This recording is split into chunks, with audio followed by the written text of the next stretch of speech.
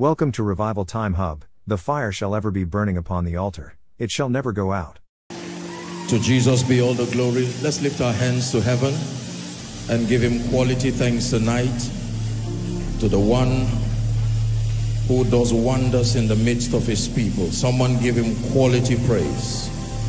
Quality praise. Quality praise. Father, we bless you. To you be all the glory.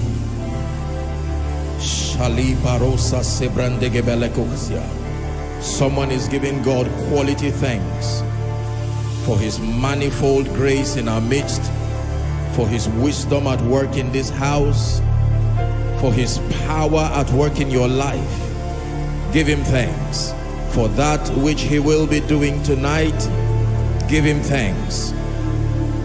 Give him thanks for victories that will be wrought on your behalf tonight. Give him thanks for testimonies that will be established tonight.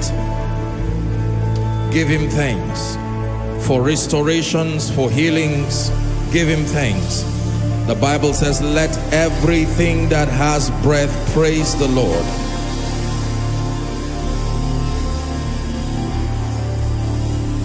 Hallelujah. Father, I am here tonight. Give me a destiny defining encounter. Someone go ahead and pray. Outside pray all the overflows. Make sure you are praying.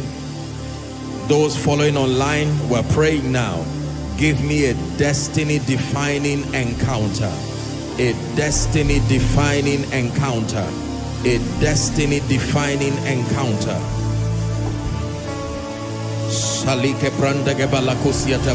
the Bible says for everyone that asketh receiveth everyone that asketh receiveth destiny defining encounter. For in Jesus' matchless name we pray. Father, we are here tonight. We're here because we love you.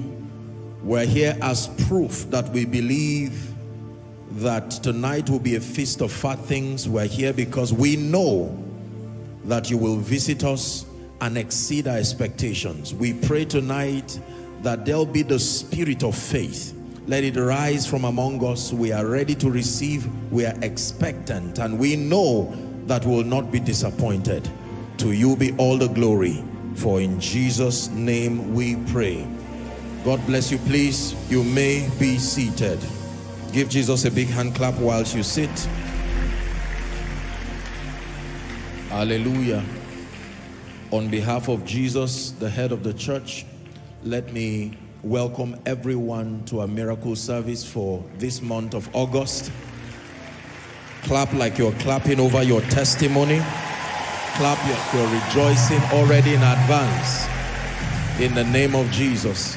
The Bible says they go from strength to strength as many as appear before the Lord in Zion. Just a few salutations and we'll get straight to the word. I want to welcome everyone. We're house of honor. And um, let me start with our online family. Let's give our online family a big God bless you. Thank you for all who are connecting, our US family, Canada, UK, and um, every other expression. We thank you for connecting. Your lives will never be the same. Zaria is also connecting for this miracle service, and we know that the Lord will do you good in Jesus' name.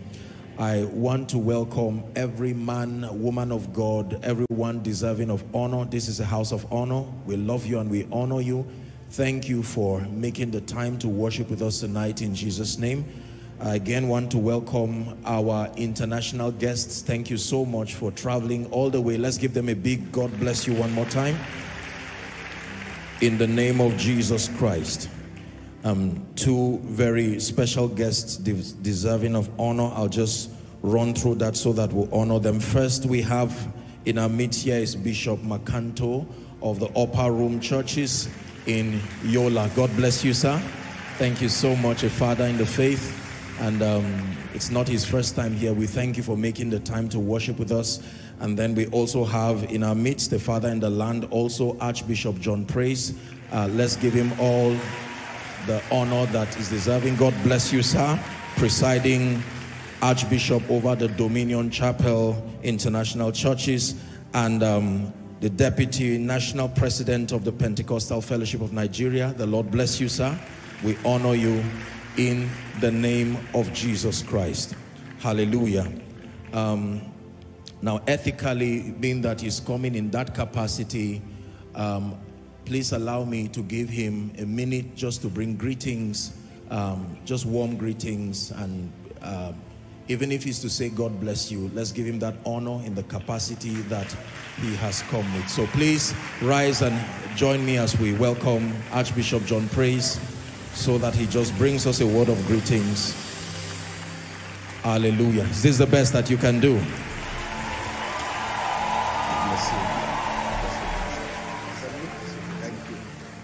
Praise the Lord. Come on, wave your hand and shout hallelujah. We honor God's servant, Apostle Joshua Selman, and this great work and great fellowship. This is koinonia. Eh, all of us are part of it, amen. Glory to God. And uh, just a joy to be here tonight and with my dear friend, Bishop Peter Macanto. Actually, just called me yesterday. and said he wants me to follow him. He said, Oh, my schedule is very tight this evening. I said, okay. Uh, I've been planning to come. There was time I had some guests from the U.S. and I was to come with them. Somehow I couldn't make it, but it's my joy to be here and to share in this great fellowship tonight. And to congratulate God's servant for the great work that is going on. We're proud of him. We love you. We're praying for you from strength to strength and from glory to glory. Just one word Nehemiah 8 verse 10, the joy of the Lord is my strength. And then it says in Proverbs 24 verse 10, if your strength fails in the day of adversity, then your strength is small. So you need more strength, joy. More strength, greater joy. God bless you. Love you. Thank you. Please let's give Archbishop a big, big God bless you. Hallelujah. Keep clapping until he gets to his seat. Hallelujah. Thank you for taking the time to fellowship with us. Hallelujah. I understand in a few minutes you have to leave just to catch up with some engagements. And so please take our love to the family back. We honor you, sir. God bless you. Let's be seated. Thank you. Thank you. This is your house your home. We welcome you, Lord, we welcome you. This is your house, your home.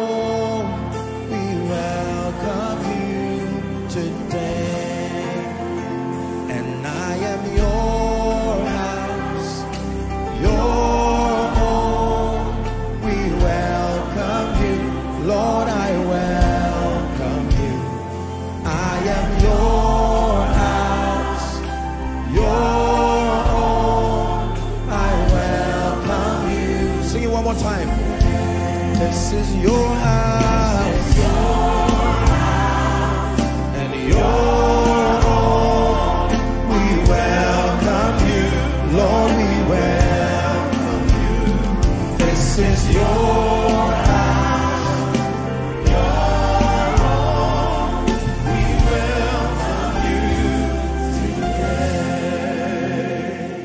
Hallelujah.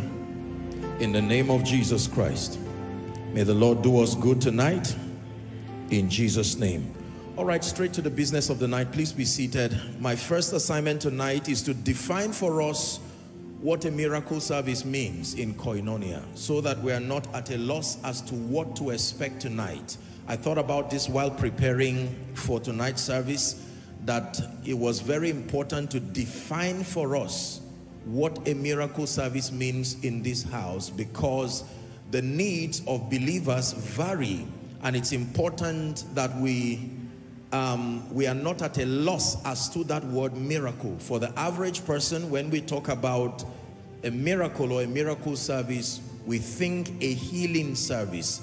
And while that is a major component as far as what we're doing is concerned it's not limited to bodily healing. Are we together a miracle in this sense is a definition of any and all forms of divine intervention. any and all forms of divine intervention.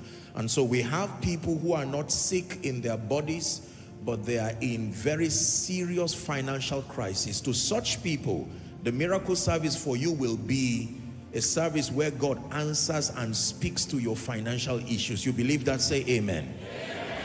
For someone, you may not be sick in your body. However, it's evident that the devil has seemed to gain an advantage over your life, oppressing you in various manners. So your miracle service becomes for you a deliverance service.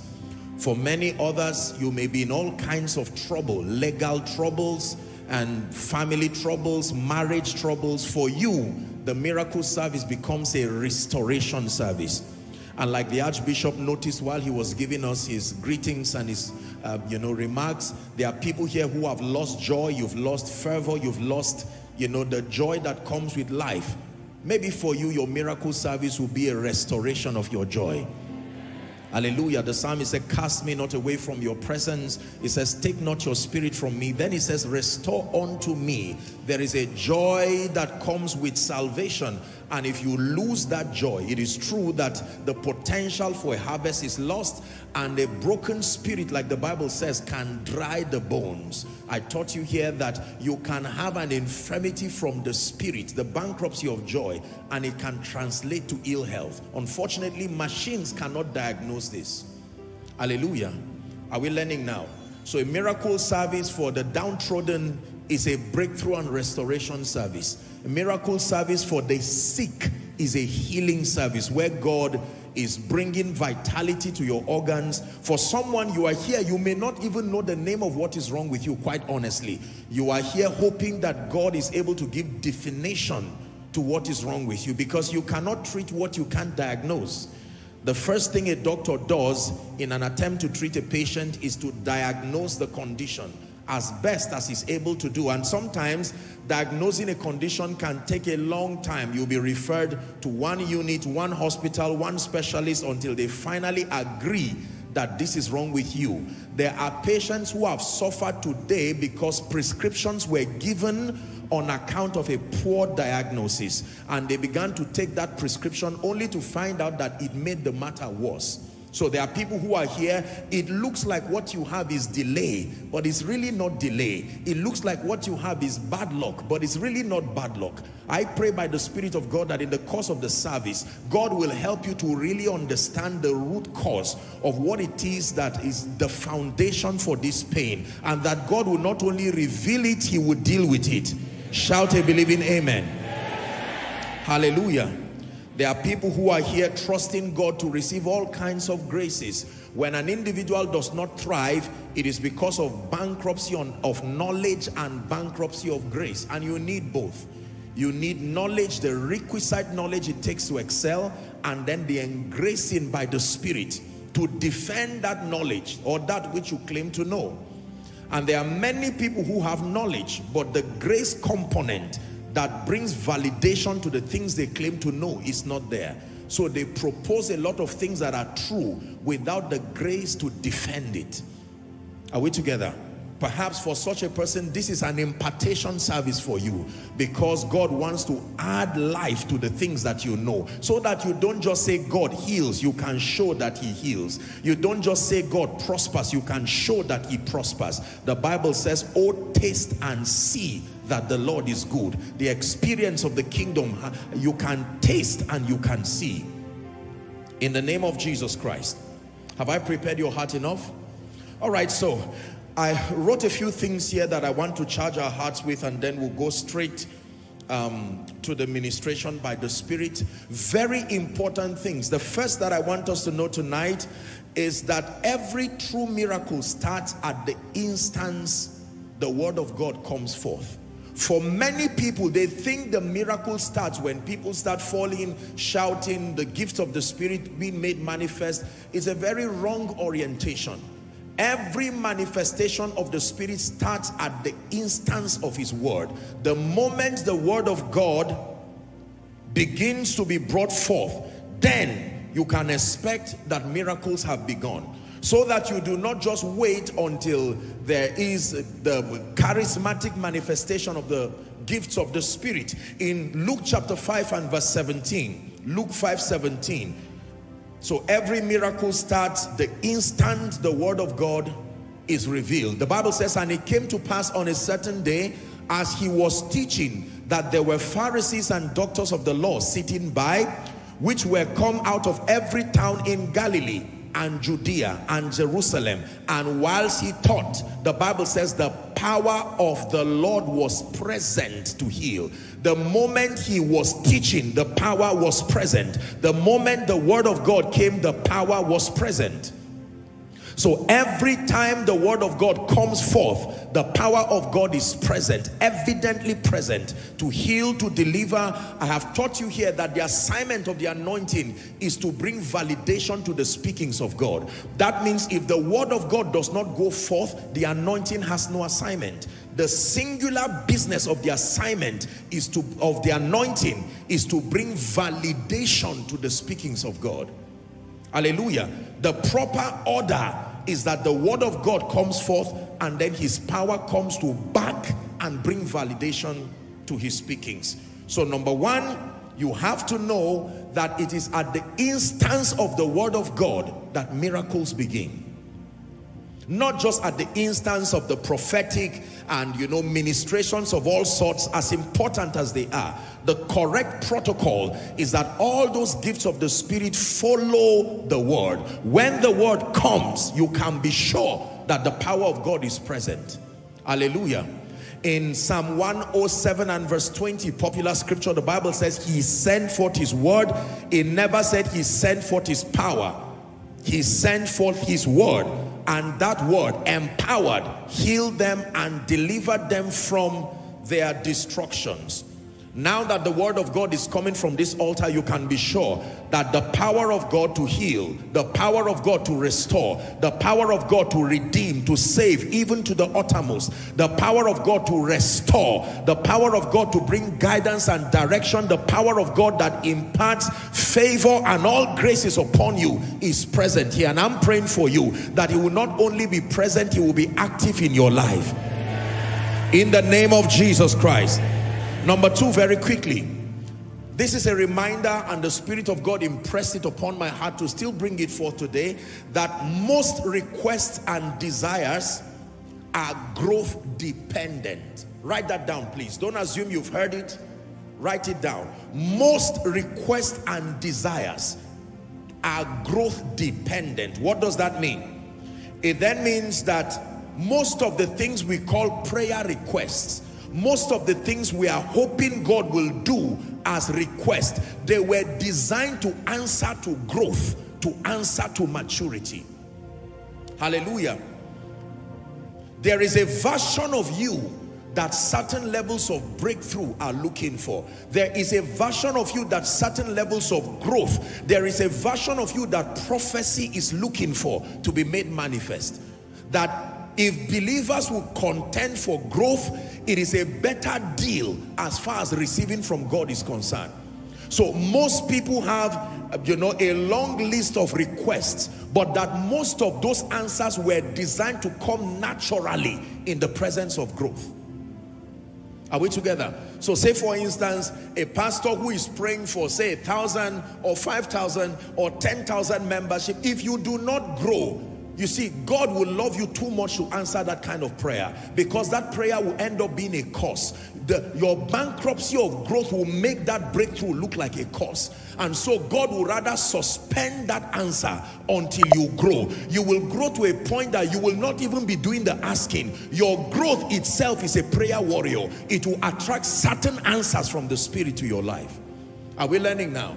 Galatians 4 and verse 1, an heir, the Bible says, for as long as that heir is a child, he differeth nothing from a servant, even though by inheritance he is Lord of all. That means that a child, an heir, there are things that are supposed to be results and possibilities in his life, but for as long as he's a child, and the characteristic feature of a child is bankruptcy of knowledge, not just size, bankruptcy of knowledge. There are many people who can be taller than their parents, yet their children. Proof, allow them speak. The moment they open their mouth, you immediately feel embarrassed for overrating their age. And he said, no, you sound like a teenager. He says, I'm just 13. He said, oh, I see. You are a healthy 13-year-old child, but you are certainly a 13-year-old child. When I was a child, I spoke like a child. I understood like a child. Are we together? I thought like a child. He says, now that I am a man, I lay aside these childish things. Many believers have not contended for growth. That is the reason why they keep recycling prayer requests. Month after month, year after year, the prayer requests do not seem to be answered. And it's not because the power of God is not able to answer. God vets the state of people before allowing certain results to come to them.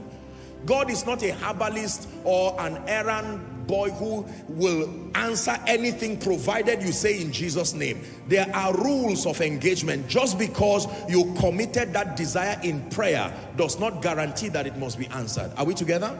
Yeah. So many of the requests in in all honesty and that includes the requests that many of us have written right now my job is to pray for you and I'll do that with all my heart but I'm telling you by the Spirit of God that most of the things we expect to work in our lives were supposed to be the natural consequence of growth.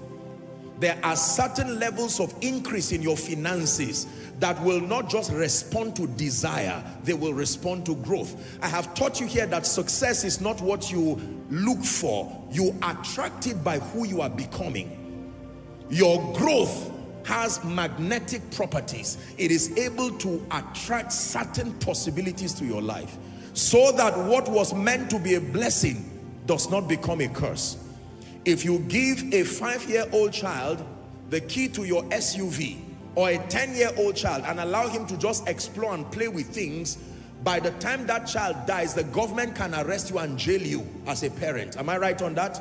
Because they say US, you should know that at that age, that child should not be able to drive, that there is an age. So even though the car is for the child, you will be patient regardless how the child cries. And sometimes as a child, he may not understand what is responsible for this cruelty. You already said it's my car. In fact, you bought it in my name. And the father would have to be patient until the day he gets to 18. And then he hands it over to him. And it says, now you take responsibility. If you hit someone, you go to jail by yourself. You are adult enough to take responsibility. That's how it is in the spirit. I'm praying for you that the kind of growth that needs to happen in your life to reduce this prayer request that you have written, the kind of growth that needs to happen in your ministry, in your organization, in your business, in your family. I'm praying for you that the God of all grace will hasten that process of growth Shout a believing amen that the God of all grace will hasten that process. In Jesus' name we pray. Amen. Growth has an implication in the life of every believer. And the reason why prayer requests continue to pile up, being unanswered, it may not necessarily be as a result of demonic attacks and it may not necessarily be that you are praying amiss. It's just that the version of you you are asking those requests to come to, they were not designed to come to that version of you until you contend for transformation. There is a version of you the anointing cannot come upon. The, the, the, anointing will not come upon a version that is still mediocre, bankrupt of spiritual knowledge. Hallelujah. Is someone learning? Number three, the third thing I wanted to learn, I hope we're learning now. Number one, I taught you that the word of God, miracles begin at the instance of the word, not the instance of power, the instance of the word. The word of God is a conveyor of his power. You can have power without the word, for instance, witchcraft, but you cannot have authentic manifestation of God's power outside of his word. His word always precedes his power. Are we together? Number two, that most requests and desires are growth dependent. So if most believers will submit themselves methodically to the processes that lead to spiritual and intellectual growth, they will find out that certain things they today call prayer requests will naturally gravitate towards their space. Number three, I wrote here that spirit manifestations, conditions and situations depend on certain belief systems to find expression in the life of any individual. I'll say that and then I'll explain. Spirit manifestations of all kinds, whether the Holy Spirit, demon spirits, conditions and situations all depend on certain mindsets or certain belief systems to find expression in the life of any individual. I have taught you here, but let me remind you that nothing works in your life automatically. There is a certain mindset requirement Please listen. There is a certain belief system requirement that must come in partnership with spirits, that must come in partnership with conditions to allow for their manifestations in your life. It doesn't matter how powerful the cause is. It doesn't matter how powerful the blessing is. It demands that there is a certain mindset. I wrote something here. Your belief system is your contribution to your success or your failure. Your belief system is what you bring as a contribution to your being successful or to your failing. Your belief system is your contribution. That means if you fail while you are blaming the devil, make sure a portion of that blame goes to you. Because although that cause worked, I am teaching you that that cause depended on a certain manifestation. Are we together? Praise God. So your system is your contribution to your success or your failure. You believe that? Shout aloud, amen. amen. Look at me. I want you to give yourself a renewed orientation. Causes do not just walk. Blessings do not just walk altars do not just work. It doesn't matter the kind of spirit. It doesn't matter the kind of attack. You believe me there is a certain mindset. If you do not have a cause cannot work. It doesn't matter the enchantment. The enchantment wait for a particular belief system. The blessing waits for a particular belief system. It doesn't matter what prophetic word came upon you. They are dependent on a certain belief system. And if they don't find it it will not work walk. Hmm. Hmm. Are we learning? So when the devil makes it look like he can veto into your life and make anything happen, he's saying that because already he has built a stronghold around your belief system. Are we together now? For instance, a stronghold of fear. For instance, a stronghold of irresponsibility Generational curses are enhanced by generational belief systems. The devil affected your grandfather because he made him believe a certain thing. And if he's to perpetuate that cause, the first thing he perpetuates is that mindset. The person in that family who has a different mind is the person who that cause will stop at. Believe me when I tell you this. Are you getting what I'm saying now? Oh come, oh come Emmanuel And ransom captive Israel Oh come, oh come Emmanuel And ransom captive Israel Rejoice, rejoice Emmanuel has come to you, oh Israel. Rejoice, rejoice, Emmanuel has come to you, He's Israel. Don't just say causes cannot work verify that the mindset that made them walk is not in your life otherwise it will walk herein lies the arrogance of christians without knowledge. They say god forbid. No it does not work with sentiments. Your belief system is your contribution to your failure or your contribution to your success. No matter what kind of oil is laid on you if certain belief systems do not change you only gave the devil a little break. Sabbatical he's coming coming back. That is the reason why certain spirits leave certain individuals with joy because they know after service they are waiting for you at the corridor of your belief system. They will be back. Listen to my message, Complete Deliverance. Listen to that message. It's a classic that will change your life. I teach you how to have complete deliverance. That number one, casting out the spirit influences is important, but that is not enough. You must submit to the transforming power of the word, deliverance through transformation. And then number three is called the discipline of conformity, using your own will to partner with God. Is the reason why it looks like certain situations never change. I have always known that mindsets are important, but I've not, I didn't realize early the extent of importance that belief systems play. It doesn't matter who chants what in front of you. There is a belief system, if it does not find, it will not work. Believe me. It doesn't matter who takes your name to what shrine, what, it doesn't matter. There is a way, if you believe or if you do not believe, it will determine the outcomes of your life.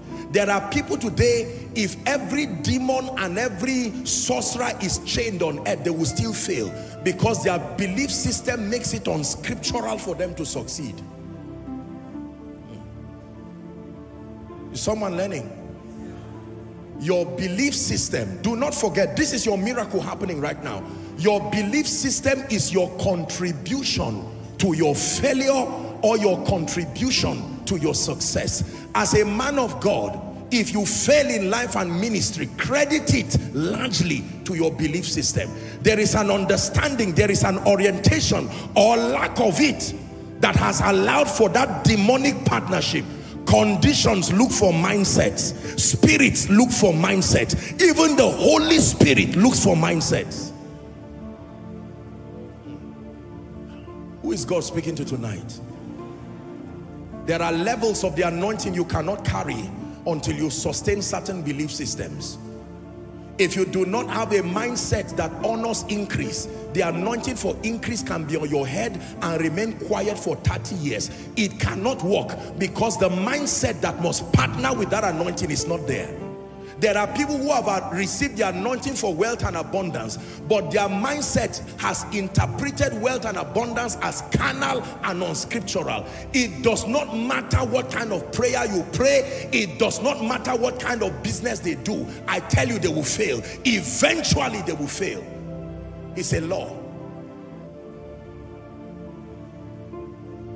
But show me a man who pays the price to build a belief system that is consistent with the word of God you may be a pastor over 10 people, over 50 people, but you believe that your increase in ministry is important for the kingdom, that the business of salvation is the business of numbers, the business of territorial impact is the business of numbers. When you begin to have that mindset, then God can add daily as many as should be saved because your mindset will not reject that.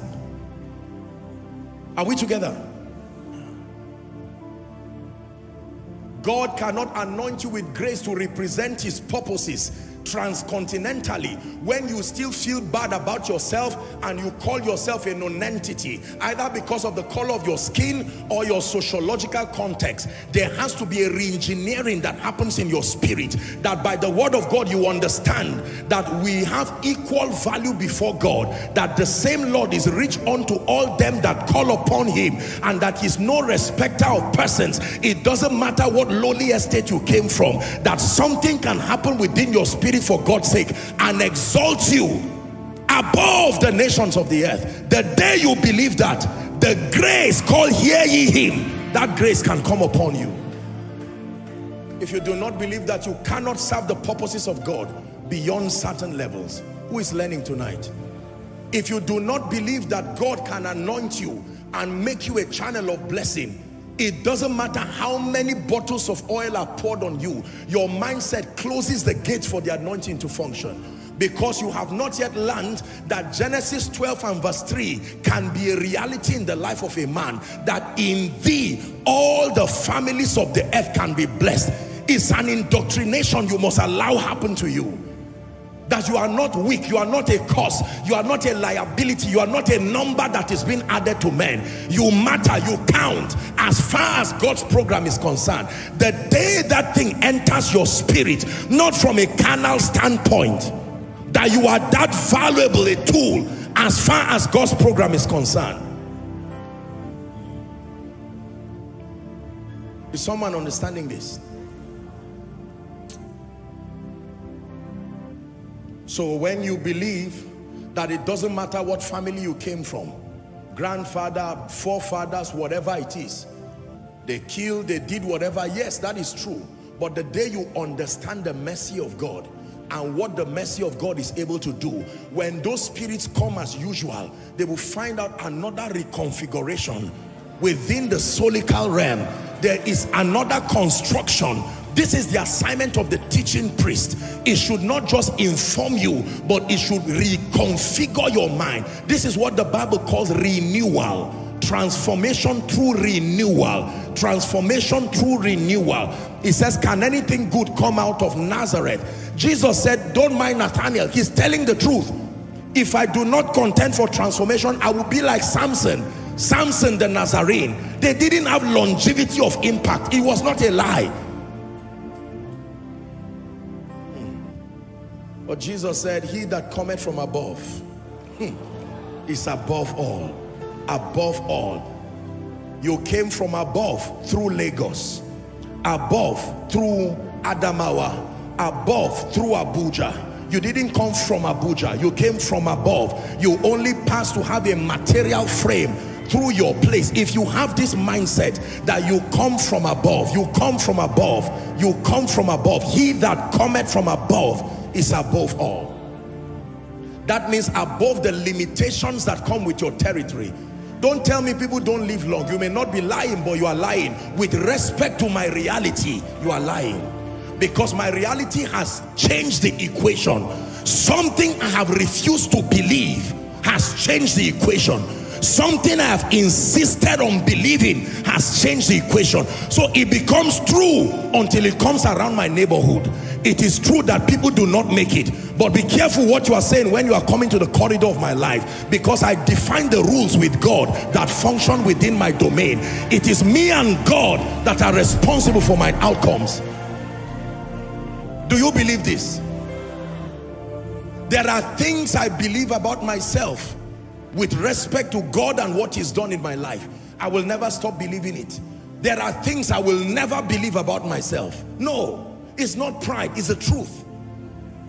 Many of us have allowed society to define the things that you believe and unknown to you is a scheming of hell to keep you in a certain belief system so that you render the word of God of non effect. Doesn't matter what you listen. Oh, that's true, but it does not change. Hallelujah. As a man of God, there are things I believe. I believe that my only limitation in life is the voice of God and process. That's it. These are the only limits I see in my life. The voice of God and process. I am victorious. I have overcome. I am victorious. I have overcome.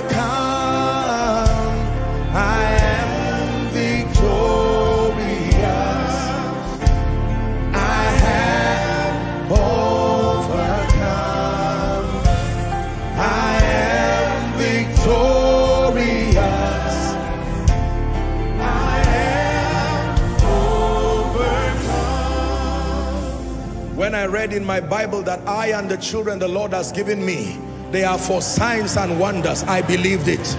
When I read in my Bible that I'll be exalted above all the nations of the earth and this blessing shall come upon me and overtake me, I believed it.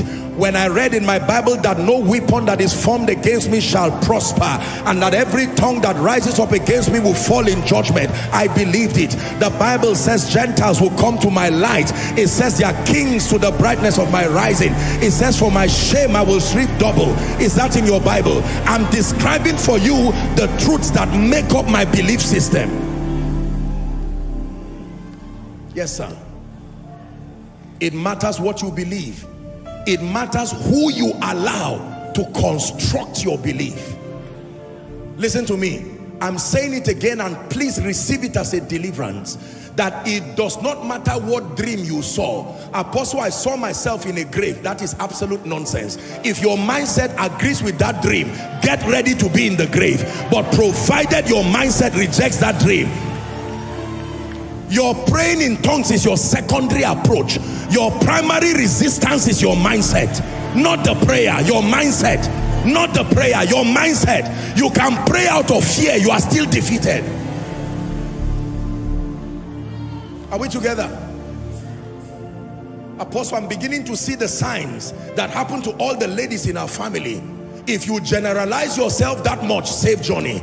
But as for some of us, in the name of Jesus Christ, we the Bible says we are being called out of every tribe, every tongue, every nation.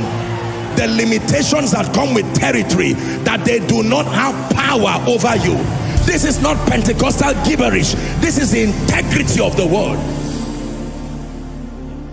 Please sit down.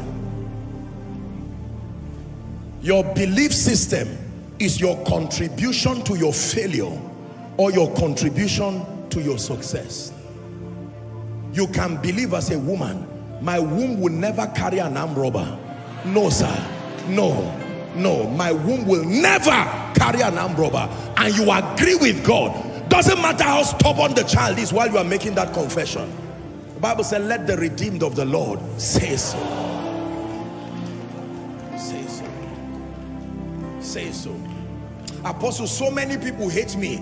There's none of your business with their hatred. Their hatred has no power over you until it partners with a mindset that is already defeated. It says he shall prepare a table for you, not in the presence of your friends. So don't be surprised that there are enemies around. They, it doesn't affect you at all. You are just giving flimsy excuses. The presence of enemies, I tell you, has no effect on your progress. Don't give them that kind of power.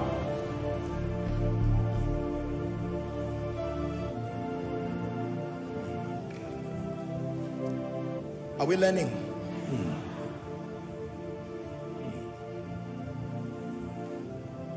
That Gentiles shall come to your light. They are kings to the brightness of your rising. Apostle, but while I'm saying this, I'm still in one small room. Whatever you call it, that is what it becomes. If you call it one small room to mean this is all I can afford, no. This is what this season has brought me. And I see it as a place for training. I see it as a place for discipline. Are we together? I do not have a job. Where are the jobless people and you stand up? I will never respond to such an insultive statement. That I don't have a job and being jobless are two different things. I don't have a job means there is a lot going on. I am jobless means I even lack the capacity to make progress. What you call yourself matters. Sometimes we embrace all this rubbish that society brings and some of you, you, you browse yourself to defeat you become a lot more foolish in the evening than you were in the morning when you woke up thanks to the mismanagement of social media. Any failure just comes and wants to mentor you without results in their own lives. They teach you all kinds of nonsense and they say i'm saying my mind. And you receive that mind and they are right. They are saying their mind. They are not saying the truth. They are saying their mind. You receive their mind it becomes your truth. Is someone learning Please do not forget this teaching tonight. Your mindset and your belief system is your contribution. Next time you are talking about the story of your success or the story of your failure, if you blame uncle, parents, government, Nigeria, and don't mention yourself, if I'm there, I will tell you you lied. Add one more space. Let me see how you were thinking in the midst of those challenges. Let me see what you believed in the midst of the ill speakings and the nay speakings. That is your own contribution to that story. Lay your hands on your head and declare that in the name of Jesus, I contend for transformation. Someone is praying. I contend for transformation by the power of the Holy Spirit. I contend for transformation. I contend for transformation in the name of Jesus Christ. Amen and amen. God bless you.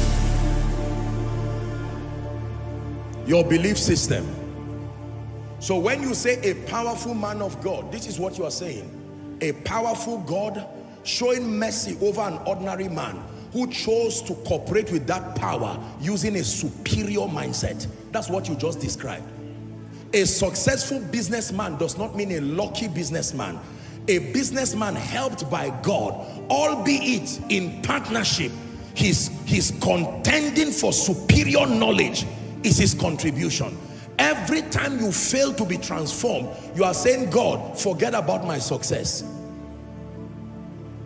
I'm not interested. Don't mind what I wrote. Don't mind what I'm saying. Apostle boy, I saw a vision, you will die tomorrow. You better close that grave. Go back to the dream and close that grave. You know the scriptures that will stand on that grave? You have no idea. And, and I'm not being arrogant. It is the truth. Where did you keep in thee shall all the families be blessed? Where did you keep honor your father and your mother and the Lord that your days may be long? Where did you keep I set before you life and death, blessing and cursing?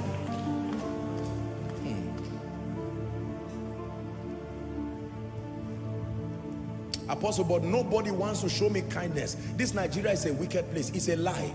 I have taught you here. It's impossible for everybody to hate you.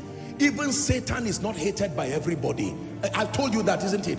Terrorists have wives. There are women that know that a man is a terrorist and he took her to his parents as a terrorist. And are you willing to spend the rest of your life with this armed robber? She said yes. Everybody cannot hate you. No sir you don't need everybody. You need the right people. Just one person. One. One. One. One destiny helper sent by God. One lifter sent by God. One endorser sent by God. One counselor sent by God. You are looking for a to lift you. Then does God take the glory? No, sir. One. One. One. One man helped Jesus, redemption was complete. One man helped, listen, it's not a crowd. When it has to do with helping men, God does not use a crowd. One, one encounter. May you find that one man tonight. In the name of Jesus Christ. Hallelujah. And I told you already, let me inform you, when you are praying for helpers, don't choose those you want to be helpers your choices will be in the flesh and you will largely be out of the will of God. Allow God to choose the human personalities that he will use to birth prophecy. Chances are excellent that if you are to choose, you will rate by the flesh. There is an uncle in Lagos. He has enough money to give me a house. Father, wake him up. And God says, no, I don't work like that. Because lack of discernment can make your prayer look like divination where you are harassing someone's peace. He fasted to pray for sleep. See it now? There are many believers that pray like diviners because they do not know how to pray accurately in the will of God. But when you let God choose the people, he will bring a stranger that you do not know who will come from America to Nigeria and say, I don't even know why I came. God asked me to come and God will tell him, come for koinonia. Sit at my left, sit at the right. And he will suddenly turn to you and say, so you are the reason why I came. God for you. Is someone learning? Now please sit down. This is already your miracle service. Oh. I hope you are learning. So that you will use your belief system and reject certain things. When you say this cause dies from my life, you are not just saying that spirit. Leave the spirit part to me. Don't worry. This is my job. Leave that one. Huh? Leave that one. But your own assignment is to say the mindset that my great-grandfather had that even though he was a sincere man, he still died poor. The other one died poor. The other one, you understand? That mindset, Lord Jesus, show me mercy by your word. and let that mindset be driven far from my life. I tell you, even if the spirit comes to stand, Satan cometh to me. Is it in your Bible? Jesus was speaking and does not find anything. That means when he comes, he looks for what looks like him. That becomes his connection point. Now, I want to just run through a list very quickly. The Lord gave me this and insisted that I drum it. The character traits that are directly connected to a victorious life. I just want to run through that list. Why the Lord put this in my heart, honestly, I couldn't sleep. The Lord kept pounding it.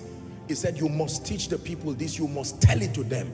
That for most of them, they are not able to walk in victory because these essential character traits. There are certain character traits Many of them, but five I've written and I'll just run through it. I'm not teaching. It's a charge that I'm giving tonight. I give you a guarantee. Anyone who lacks these character traits, you have signed up for failure forever. I don't care what else happens in your life. Literally walking in victory depends on having these character traits among many other bodies of knowledge. Are you ready now? I will run through the list very quickly as the Spirit of God impressed upon my heart. The character traits directly connected to victorious living. Number one, gratitude. You are already a failure on his way to happen if you do not embrace gratitude as a character trait. Ungrateful people never increase. Ungrateful people never remain. Gratitude. Psalm 92, 1 and 2. Let's hurry up media. Gratitude, the first character trait that the Holy Spirit is drumming in our hearts tonight. You want to excel, you want to partner with the anointing God has released for this miracle service, you must realize that gratitude is an irrefutable secret to your becoming. Someone say gratitude. Shout it one more time, say gratitude. Psalm 92, please, from verse 1 to 2. It is a good thing, the Bible says, a good thing to give thanks unto the Lord and to sing praises unto his name O Most High. Verse 2, it says to show forth your loving kindness in the morning and your faithfulness every night. It is a good thing. First Thessalonians 5, 16 to 18. The verse of emphasis is verse 18, but contextually the Bible says rejoice evermore. Uh-huh. And then it says, pray without ceasing, verse 17. I like verse 18. In everything. How many things? In everything, it says, give thanks, for this is the will of God. The condition is not the will of God. The attitude of thanksgiving in the midst of the condition is what is the will of God concerning you. If you see pain, give thanks. When you don't understand where you are going, give thanks. Confusion in your home, give thanks. Bad result in school, give thanks. Giving thanks does not mean you accept what is negative. You are thanking God because he is the reason why it was not worse. And it is a system that transforms pain to glory. Give thanks. Give thanks. Give thanks. Give thanks. That show me a man who desires to live a life of victory and excellence in this kingdom and in destiny if that man does not have the character trait of consistent thanksgiving towards God and towards men. I have taught you that gratitude is a multiplier. It recycles favorable seasons in your life. When you learn to say thank you to God as well as thank you to men, you recycle their benevolence again. And I have taught you that when you are giving thanks, you must express it to match the sacrifice that was communicated to you. Can I recap on that teaching? I taught you that if I give you 100 naira and you say thanks, remember? If I give you 1,000 and you say thanks, if I give you 100,000 and you say thanks, if I give you 1 million and you say thanks, you are not wise because it's not the same sacrifice that brought those amounts. Your thanksgiving must match the sacrifice communicated to you. This is why some of you have closed several doors in your life. Are we together? Someone buys a house for you, thanks. Gives you 100 naira recharge card, thanks. Leads you to Jesus Christ, thanks. Delivers you from evil spirits, thanks. What then, at what point are you going to say thank you generously and lavishly? You see how people behave? They spend 10 page text messages explaining their troubles. Please now help me. Please now give me admission. And the person finally gives them admission and after three days, they send a one word text, thanks. And the person says, mark this number. Never give this person help again. Yes, sir. Yes, sir. I hope you are not just laughing. Gratitude is a multiplier and it's a recycler of favorable seasons. Someone say, thank you, Jesus. One more time, shout it, say, thank you, Jesus. Very powerful. Na sunanka Ubangiji kaisayabo Na girmama sunanka Ubangiji Ni na daukaka sunanka Ubangiji Na girmama sunanka Learn to be thankful. Minimize complain. If not, avoid it totally. God, you gave me tea. Where is the bread? Say thank you for the tea first. Have you finished taking the tea and you did not find bread there? Maybe bread is on its way coming. You stop it from arriving because of ingratitude. Someone say, thank you, Jesus. I don't have all my bills paid, but thank you that I still have the sanity of mind to come to church. Thank you because I'm not in jail, even though I'm owing one year's rent. Thank you, Jesus. Thank you, Jesus. Thank you, Jesus. I don't have a job yet, but my mental health is correct. Thank you, Jesus. Only people whose minds are sound walk. All the people whose minds are not well, they are incarcerated somewhere. Thank him for health. Find a reason. There has to be God in that equation, no matter the pain. One more time, say thank you, Jesus. Oh, Apostle, you don't know how much money I lost, but you are still alive. That means you can gain it again. Are we together now? The one who had billions in his account but did not wake up this morning. It's over. Thank you, Jesus. Number two, very quickly. The second character trait connected to victorious living, are you learning? Is called honor. Honor. Closely connected to gratitude. Honor. There is no other force I know that shuts the door of destiny like dishonor. Dishonor is a vicious, it's a cancer that if you ever allow get into your destiny, it will shut any door at all. Honor. Everybody say honor. Honor is defined as the recognition the celebrating and the rewarding of men for their unique contribution to your life. The discerning the celebrating and the rewarding. When the fathers of faith came here we took our time to honor them and then to continue why do you do that because it is a protocol to greatness Never get too big to honor those deserving of honor. There's one reason if I'm to summarize failure, why people fail. Dishonor to God, dishonor to men, dishonor to systems. Hallelujah. That, that faculty of discerning, celebrating and rewarding men for their unique contribution is a priceless gift. Honor you can earn a living practicing honor. You literally can use honor as a stream of income. That when people are asking you, what do you do for a living? Someone says, I'm into real estate. Another person says, I'm into tech. You can say, I practice honor for a living. And only a fool will laugh at you. Because honor is a vicious door opener. It can open any door. Honor can make men like you. And when they like you, whatever they carry becomes yours. Are we together now? Practice honor. Practice honor. Take an inventory of those who have made contributions in your life and appreciate them. When you see greatness, don't ignore it. Practice honor. Preachers, practice honor. Businessmen, practice honor.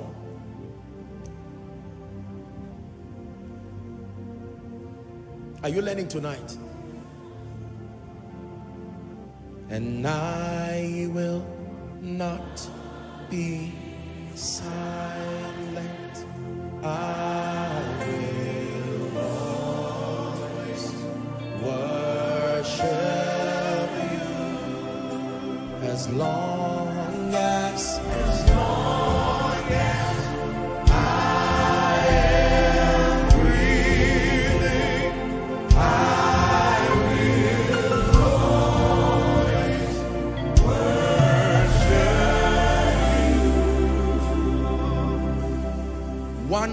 powerful key to maintaining relationships is to use the combo of gratitude and honor. I told you every time you cannot bring value to any relationship, bring honor and gratitude. You have equalized that relationship. It doesn't matter how great the person is and how low you are. The moment you bring gratitude and you bring honor, no matter how great your contribution is, your honor and gratitude exalts you to a point that you will look like colleagues. Go and try it and come and tell me thank you. Are we together? There are times where certain relationships without gratitude and honor will look unequally yoked because there is nothing you can give that person. He's richer than you, wiser than you, better than you, older than you, more experienced than you. He can jail you, you cannot jail him. He knows God more than you. You look at the relationship and it's as if you're a parasite. Balance it by using honor and gratitude. You will find out that you will never be a non-entity again in that relationship. Use it for your superiors in office. Use it for any man of God you truly love and honor and you watch what happens. Honor, gratitude. But you see, dishonor is like a garment of shame. It reduces the value of anything. Dishonor reduces the value of anything. Dishonor reduces the value of a person, reduces the value of an organization, reduces the value of a church, reduces the value of a vision. Dishonor is a depleter. It reduces anything. Number three, koinonia is quiet. I want to believe you are repenting because some of you are saying, ah, so this what has recycled this pain that even brought me here this night. Thank God for the miracle service. So you repent. Don't send anything to anybody and say, we are like that in our family. We say our mind. Where has it taken you? Are you not seeing that you are still begging? Huh? This saying your mind mentality, change it all. People have done these things and suffered for nothing. The one who is in need is the one who behaves well. You cannot want success to come to you at your own terms. No.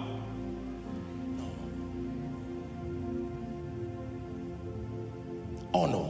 Number three. The third character trait that is directly connected to victorious living. Koinonia, are you learning? Diligence. Diligence. Show me a man who intends to be successful God's way to be victorious God's way and ignores the law of diligence, I show you one who is joking with his destiny. Diligence. Diligence. Proverbs 20 and verse 4. Let's hurry up. Proverbs 20 and verse 4. The sluggard, give us amplified. Is it possible? The sluggard will not plow. Okay, well, the same thing it says. The sluggard does not plow when winter sets in. Therefore, he begs in harvest and has nothing. NIV, I believe, will give a better expression. I just wanted another expression for the word sluggard. You see, all of them use sluggard. You see how serious it is. A sluggard is a lazy person. Lazy person. That's right. NLT. Thank God for these versions. Those too lazy to plow in the right season will have no food at the harvest. Period. What don't you understand about this scripture? It's as clear as it is. Let me read it one more time.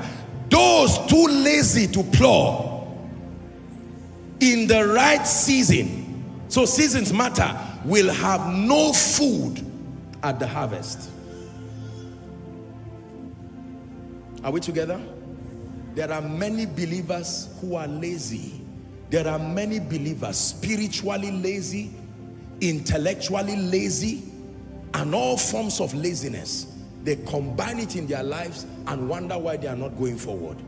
In the name of Jesus tonight, I come by the power of the Holy Spirit. I cast out of your life every spirit of laziness. I cast out of your life every spirit of laziness. As a man of God, when you are lazy, be sure that be ready for empty pews. God will honor you to the degree, not just of his mercy and faithfulness, but the degree of your own diligence too. Your own diligence too. Your own diligence too. Apostle, I want to be very wealthy. You think wealthy people just cross their legs and sleep? Run away from that lie you see on the internet. They are diligent people who work day and night, day and night, day and night. As others are snoring, they are awake. Even the keeper of Israel does not sleep or slumber. No wonder he's the king of kings. Satan who goes about like a roaring lion. Huh? You, you see both Satan and, and, and Jesus, they all agree that laziness is not good. So which side are you if you are lazy? Because whether it's Satan you want to serve or Jesus you want to serve, none of them will accept laziness. I want to join your cult. You will still need hard work. I want to be part of Jesus's camp. I will, you will still, laziness is one thing that both God and Satan agree on, that you will be a defeated person with it. Laziness. The time to wake up and read, you wake up and read. The time to wake up and pray, you wake up and pray. The time to put your life in order, you put your life in order. Laziness. Are we together? One enemy of laziness or one enhancer to laziness is called procrastination. One day I will do it. One day go better. Don't worry. Uh, I, I'm, I'm planning about it. One day, one day. May that day be today for someone. One day I'll be serious with God. Let that day be today. One day I'll be serious with my destiny. Let that day be today. In the name of Jesus Christ. You can make that one day your today where you insist that from this day things must change in my life. From this day wrong relationships be on your way. From this day prayerlessness be on your way. From this day laxity spiritually be on your way. Diligence is a powerful principle. Let's hurry up. I'll give you two more and then we're done. Who is ready for number four? The fourth character trait directly connected to victorious living is called the practice of forgiveness. Colossians 3:13. Forgiveness. Apostle, don't talk about this one. Then you will go to hell. Because the Bible, I don't mean an, an insult. You literally will go to hell. Because the Bible says if you do not forgive men their sins, neither with your own father forgive you your own sins. There are people, this over my dead body mentality. I pray that it will die tonight. It's painful, but shout amen. Colossians chapter 3 and verse 13. The practice of forgiveness. Forbearing one another and forgiving one another. I've taught you here that they mean two different things. Remember, the word forbear means tolerate. Tolerate means accommodate that weakness because it will happen again and again and again. For instance, a noisy person does not need forgiveness. If you tell a noisy person, keep quiet, you don't say, I forgive you. You say, I tolerate you. Because in five minutes, you will resume. What the person needs is not forgiveness. What the person needs is tolerance. Hmm. Forgiving one another. If any man have a quarrel against any, even as Christ forgave you, so also do ye. Do you know this thing called offense and unforgiveness is a terrible cancer. It stops the anointing from flowing. It stops victory from manifesting. Are we together? I'm not a medical doctor and this is not a medical advice, but I know that offense can multiply you and make you age. You can be 30 years and people will think you lied with your age they will say your true age is 50 because offense would have added 20 years to your face. Yes, sir. There are people like that. How old are you? 25. No, you have to be, you, you can't be 25 years. Are you my father? Are you my mother? This is my age. Say no. Because you wrinkle your face, you frown your face. Good morning. What is good about the morning? You see people behave like that? Okay, happy Sunday. What is good about the Sunday? Joy. The antidote to offense. Joy. Let it flow like a river. That all these bad, this list of people you have in your, there's what they used to call black book. Remember that black book talk? You have a list of people you write over my dead body. over my dead body. And before you sleep, you say, God, have mercy on me. Let me wake up in peace. Forgive me all my sins. And then God forgives you and you wake up and continue your black, your, your blacklist. It's amazing the things that believers do. We go and beg God, oh, say, forgive me, and then you now turn and you are doing your own again. Someone shout, I forgive.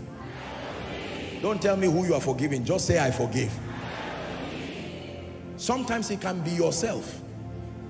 Did you hear what I said? Sometimes it can be yourself. For the many years of foolishness, rejecting God when the gospel came, I forgive. The many years of prayerlessness that empowered causes to work against your life and delay your progress, I forgive. I forgive. I forgive. Nobody lives an excelling life if you are not prepared to practice forgiveness. Forgiveness is predicated upon the humanity of men, that the best of all men is human. Your spouse, human. Are we together now? Pastor, human. Members, human business person human and that eventually one day at one point or the other knowingly or unknowingly intentionally or otherwise the humanity of men will find expression. And it may be at that moment a disadvantage to you. Maybe in anger maybe whatever it is. So you make up your mind. Do you know that forgiving is one of the highest way to give? We talk about giving and we limit it to money Forgiveness is a kind of giving. It's a giving that factors in the fact that people can fall short of your standard and you already prepare your heart. Forgiveness is a kind of giving. Don't say you are a giver to mean you drop naira and dollars alone. You are not an authentic giver because the greatest giver did not just give things. He gave his life and he did that for giving us. So if we are to model giving from Jesus, your giving cannot be limited to money alone or things alone or impartation alone. You must grant pardon to people, sometimes undeserving people. But let me put a balance very quickly, and I've taught you here that the value of forgiveness is when it comes after repentance. Write that down so that you don't allow the devil confuse you through this charge. Without repentance, forgiveness will be useless. Let me say that again. Without repentance, forgiveness will be useless. The real value of forgiveness is when there is repentance, a change of heart.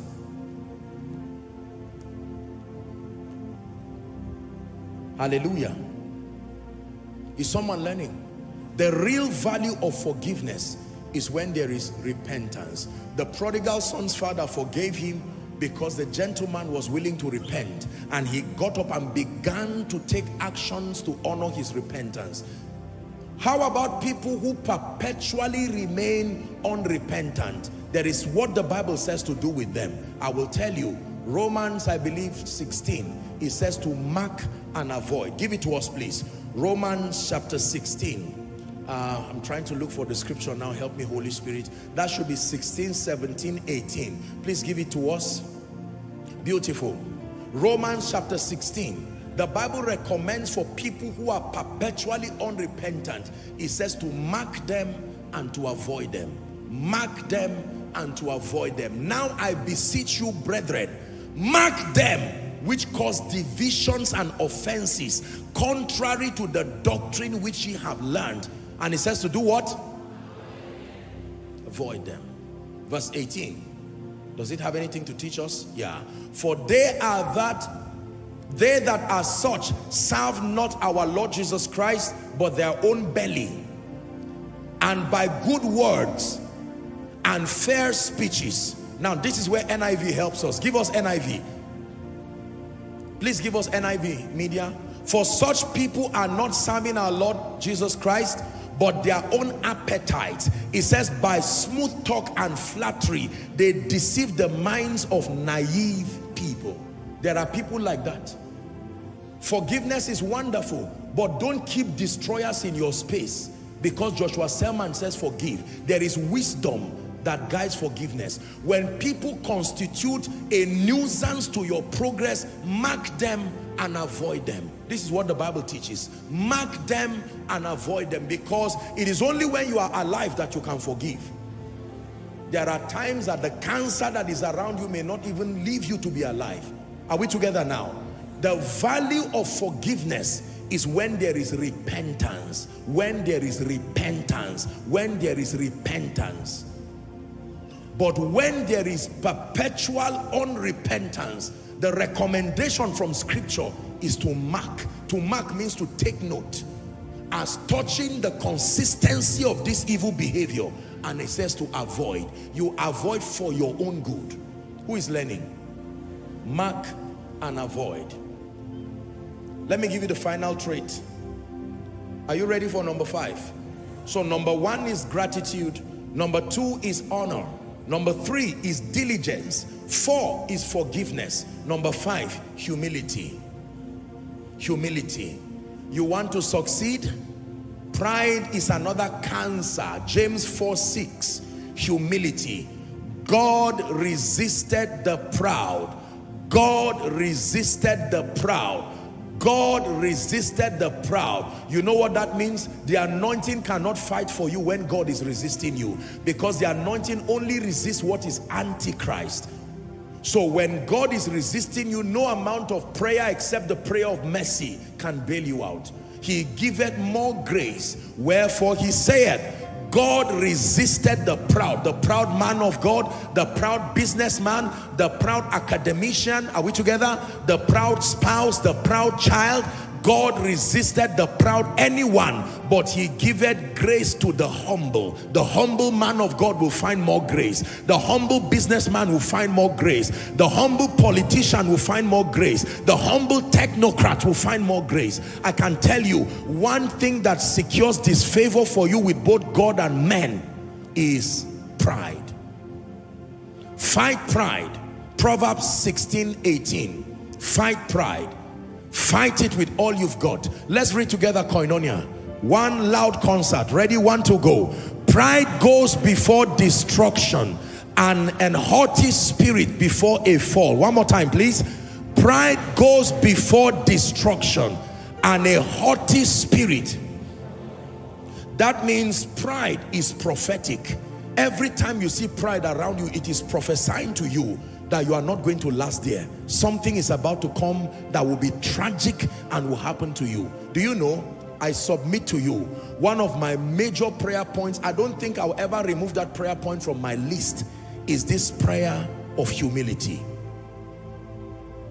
As you rise in life and in ministry and as God continues to show you mercy, you will see that this prayer of humility is a matured believer's prayer. Are we together? Go back and pray as God keeps lifting you. Men can clap you to your grave. You can even, from the abundance of the results that happen in your life, you can indoctrinate yourself and exalt yourself more highly than is meet. But let me encourage someone. Maybe this is the one trait you are missing. You are not wanting in the area of diligence. Maybe you are not even wanting in the area of um, for unforgiveness. But this pride, is something you met. Everyone around your life was arrogant. Your mentors arrogant, mentees arrogant, you yourself arrogant. You can change. You can change. You can change. Many men of God have been destroyed as a result of pride than demonic attack. Many businessmen have been destroyed because of pride than any demonic attack. I can tell you firsthand by the integrity of scripture and by experience that pride is a killer.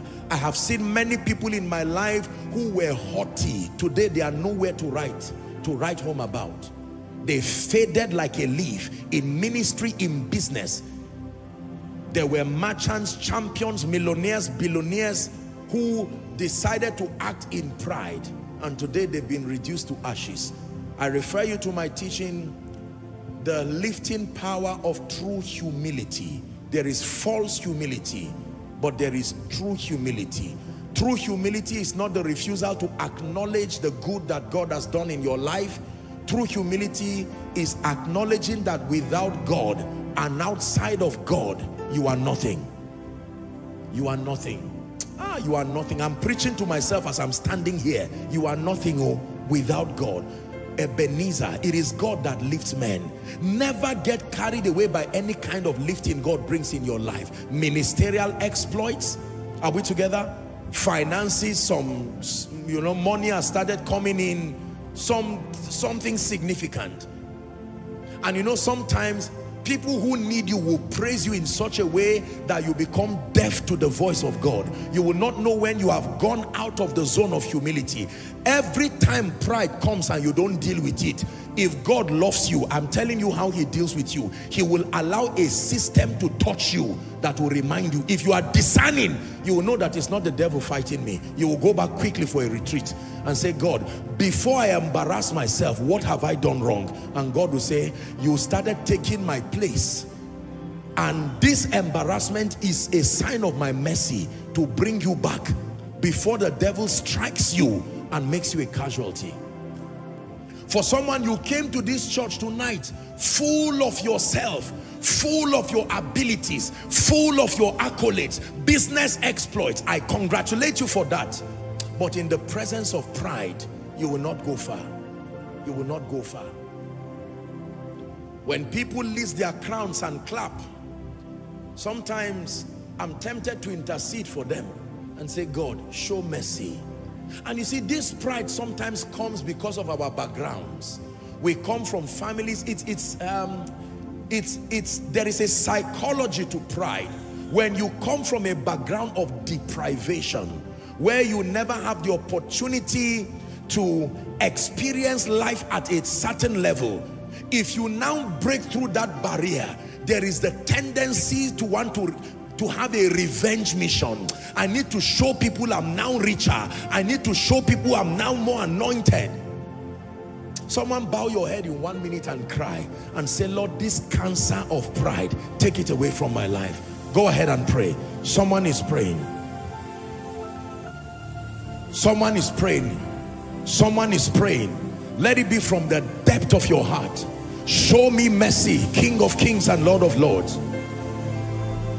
Take away pride, ministerial pride, business pride. Take it away from my life.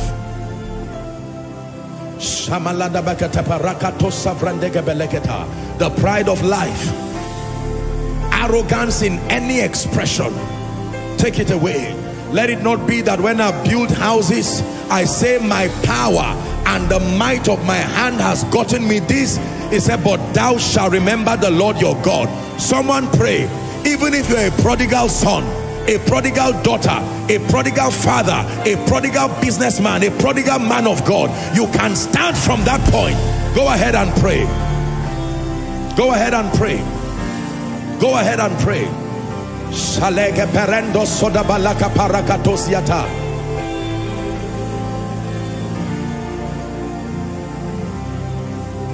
Go ahead and pray. Take a minute to pray. I repent from pride. I repent from pride. A life of boasting and pride. I repent from it. If I'm, I'm lifted is because of your mercy. If I'm anointed is because of your mercy. Someone pray. If I'm helped by God is because of your mercy. If I have anything that is worth clapping for is because of your mercy. Koinonia a product of your mercy.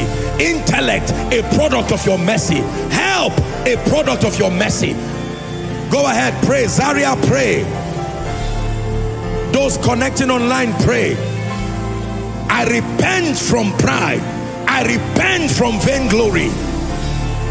Except the lord builds a house they labor in vain that build it except the Lord watches over a city the watchman watcheth but in vain. It is vain to wake up early in the morning and to sleep late in the night only to eat the bread of sorrow. But he gives his beloved sleep. You came for a miracle service. God is taking away from you like a, a surgery happening to your life. These are the cancers the viruses that are stopping you from making progress Go ahead and pray. Go ahead and pray. Go ahead and pray. Yaduwata Bandawani Sekai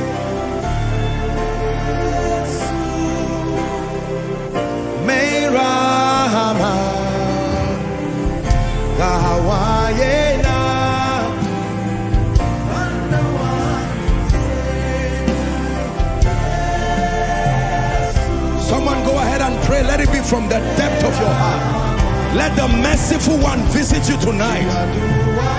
Show you mercy.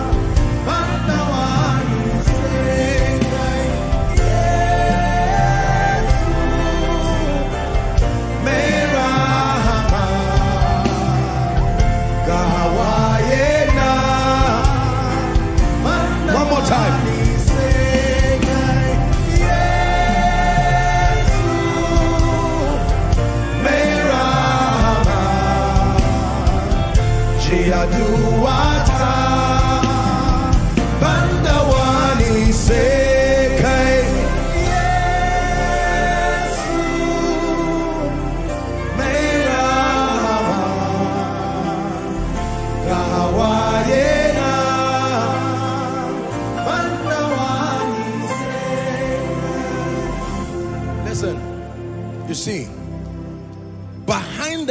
extraordinary results you see in the life of ordinary men. These are the forces that are at work. I can easily pray for you. It does not take so much to cast out demons. It is not even the ability of the man of God. It does not take so much to minister healing. But these are the weightier matters keeping your destiny down. It's not enough to heal you. The, the what is depressing you that even needs you being healed from depression is what i'm solving hallelujah. Many believers are not sick. Many believers are not necessarily oppressed. But there are people who come in and out of church and shout amen and fall down and rise up and they don't move forward.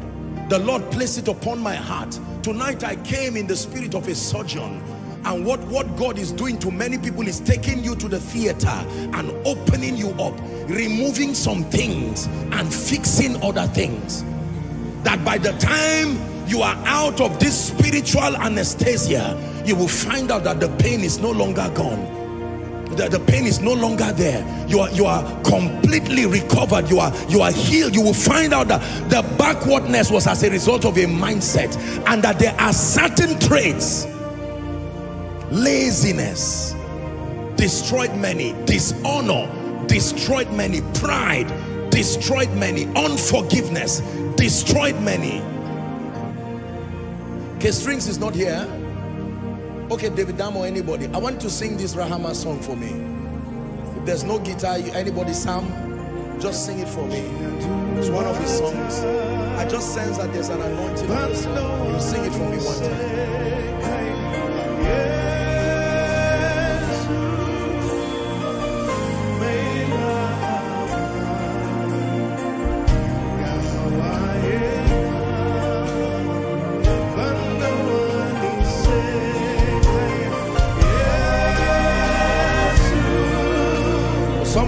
why you came tonight, crying for mercy.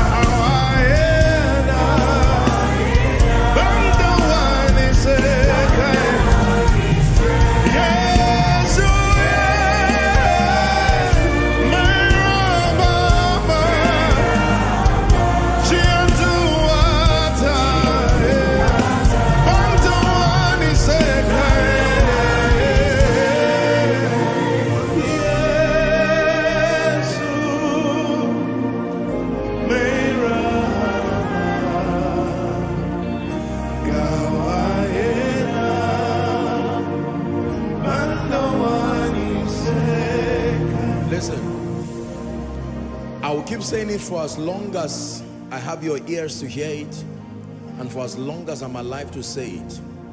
This is one of my covenants with God. That if you will let men see me, there is nothing I will not give you. This is what God told me many years ago. If you will let men see me, if you learn how to hide behind the cross and allow men see me, you have a choice. You can direct them to yourself and be the superstar and be the celebrity and be the center of attraction. But the consequences that follow such a choice, you must be willing to go with it. But if you will let men see me, there is nothing I will not give you. I'm about to pray for you. If we stop here tonight, this was a great miracle service. You may not understand the surgery. You are going to list these five things. I'm the one who will give you the prayer request. I, whether you want to lie down, whether you want to cry, for the next two or three minutes, I'm going to be listing these five traits. Where you have any of them missing in your life, please swallow your pride and cry before the God of heaven. The first is gratitude. The second is honor. The third is diligence. The fourth is forgiveness. The fifth is humility. Which of these is not working in your life? Koinonia, cry tonight. Go ahead. Cry before the God of heaven. Cast your golden crown. Shama sana seleke pereke tabarakatosiata. Kebrate saliga barantosiata. I repent from ingratitude. Someone is praying. Cry unto God, the merciful one. Repent from ingratitude. Repent from dishonor. Dishonor in ministry. Dishonor in destiny. Repent from laziness. It's time to embrace diligence. Someone pray. Cast away this cancer of unforgiveness. Is blood is brought high blood pressure. Now you have a BP problem because of unforgiveness.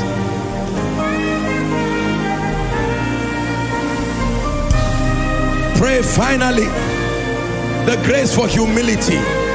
I tell you, pride is a destroyer. Pride is a cancer. It eats up the health of your days, the health of your destiny. Take a minute to pray. Outside, make sure you are praying. All the overflows, pray. Connecting across the globe, pray. Whether you are in your home, this explains the tragedies that have come upon your life. Maybe in the last few months, in the last years, it cannot be unconnected to the absence of these things.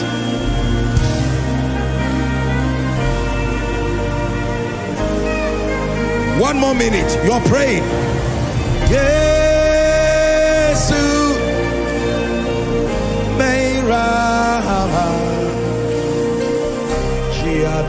Chiaduata Bandawani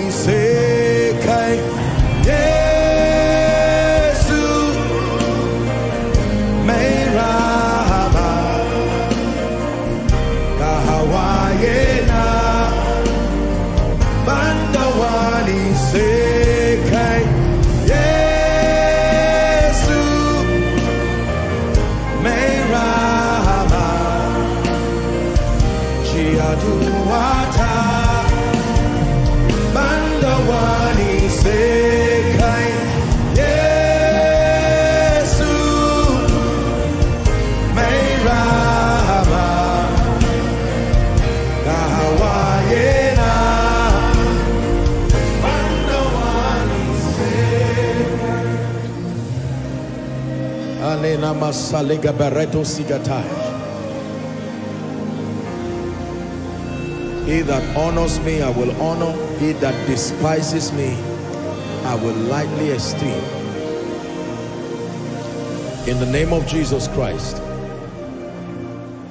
You see that tonight, the miracle service is from inside out. It's not just shouting amen. There is an inner work of the spirit that he is doing. God is diagnosing the conditions of many people. He's showing you that it's not about shouting amen. No.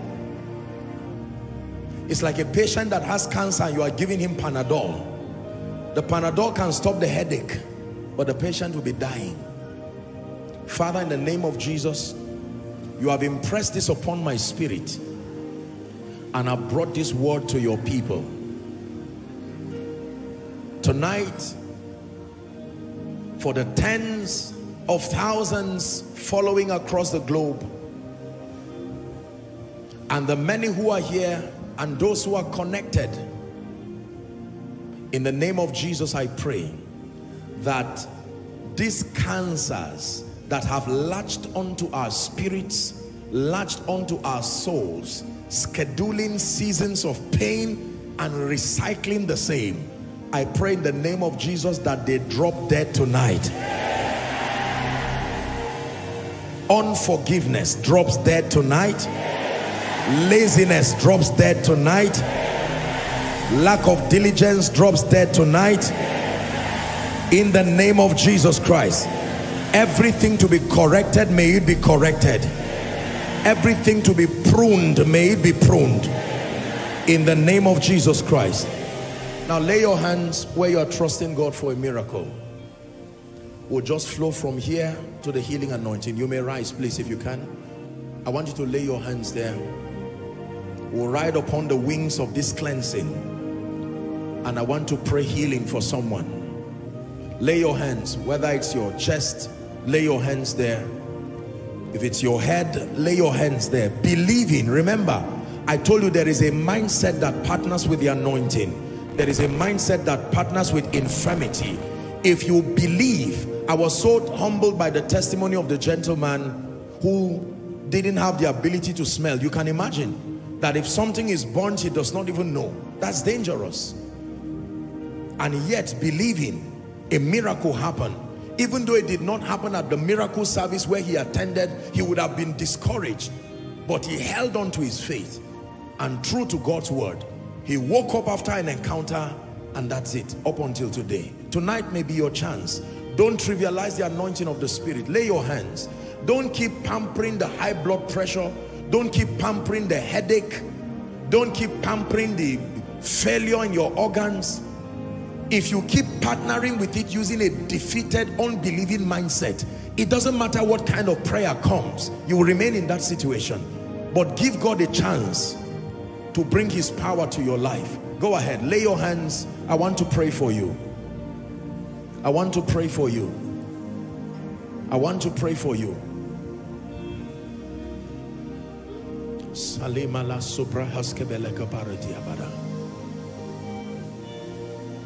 He's called Rapha, the one who heals. And for those who are connecting from any hospital, the Spirit of God is ministering healing right now those who are connecting by way of internet, by way of television, you have someone who is sick, even if it's a terminal situation, believe God for a miracle right now. Already the Lord is showing me someone, I'm watching you, I don't know if you are here, but I'm watching you, you are sitting on a wheelchair. The right part of your leg seems to be damaged as a result of arthritis. This is arthritis, has completely destroyed the right part of your legs. But in the name of Jesus, whether you are here or you're online, I declare let power surge through that body now. Let the power of the Holy Spirit surge through that body now. In the name of Jesus Christ. In the name of Jesus Christ. There's someone you have glaucoma.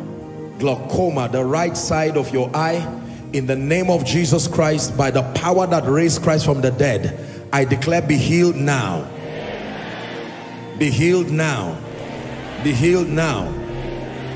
Now, there's a lady, the right part of your breast is growing unusually, like something that is cancerous. Growing unusually. It's like something that is cancerous. The power of God is about to touch you wherever you are and the Lord is bringing you healing so that that thing does not kill you. We speak to you, you will not die in the name of Jesus now I pray for you every spirit that is back of any infirmity I want to minister to the sick first and then we'll speak deliverance in the name of Jesus anyone those outside the overflow outside all who are in the overflows down to the basement those who are here Zaria connecting, US, Canada, UK, all our expressions in the name of Jesus. I decree and declare that the spirit that is back of any infirmity, I curse you from the bodies of God's people in Jesus' name. I curse you from the bodies of God's people in Jesus' name. I curse you from the bodies of God's people in Jesus' name. Now I decree and declare be healed in Jesus' name. Supernaturally healed in Jesus' name. Be healed in Jesus' name.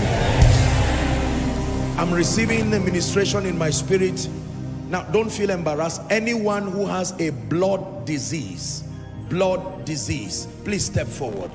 Blood disease, leukemia, blood disease, any kind of blood disease verified Please step forward quickly. I want to pray for you. This is what the Holy Spirit, make sure you understand what I'm saying. Don't come out carelessly. Blood disease, blood disease, only blood disease. Come very quickly. Let them come, please, quickly, quickly. We have to hurry up. The blood disease, come.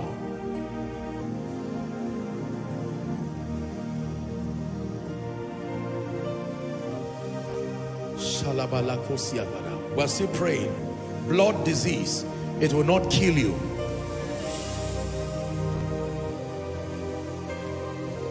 SS genotype you have the faith join them let the devil let that that cancer be damaged from your life once and for all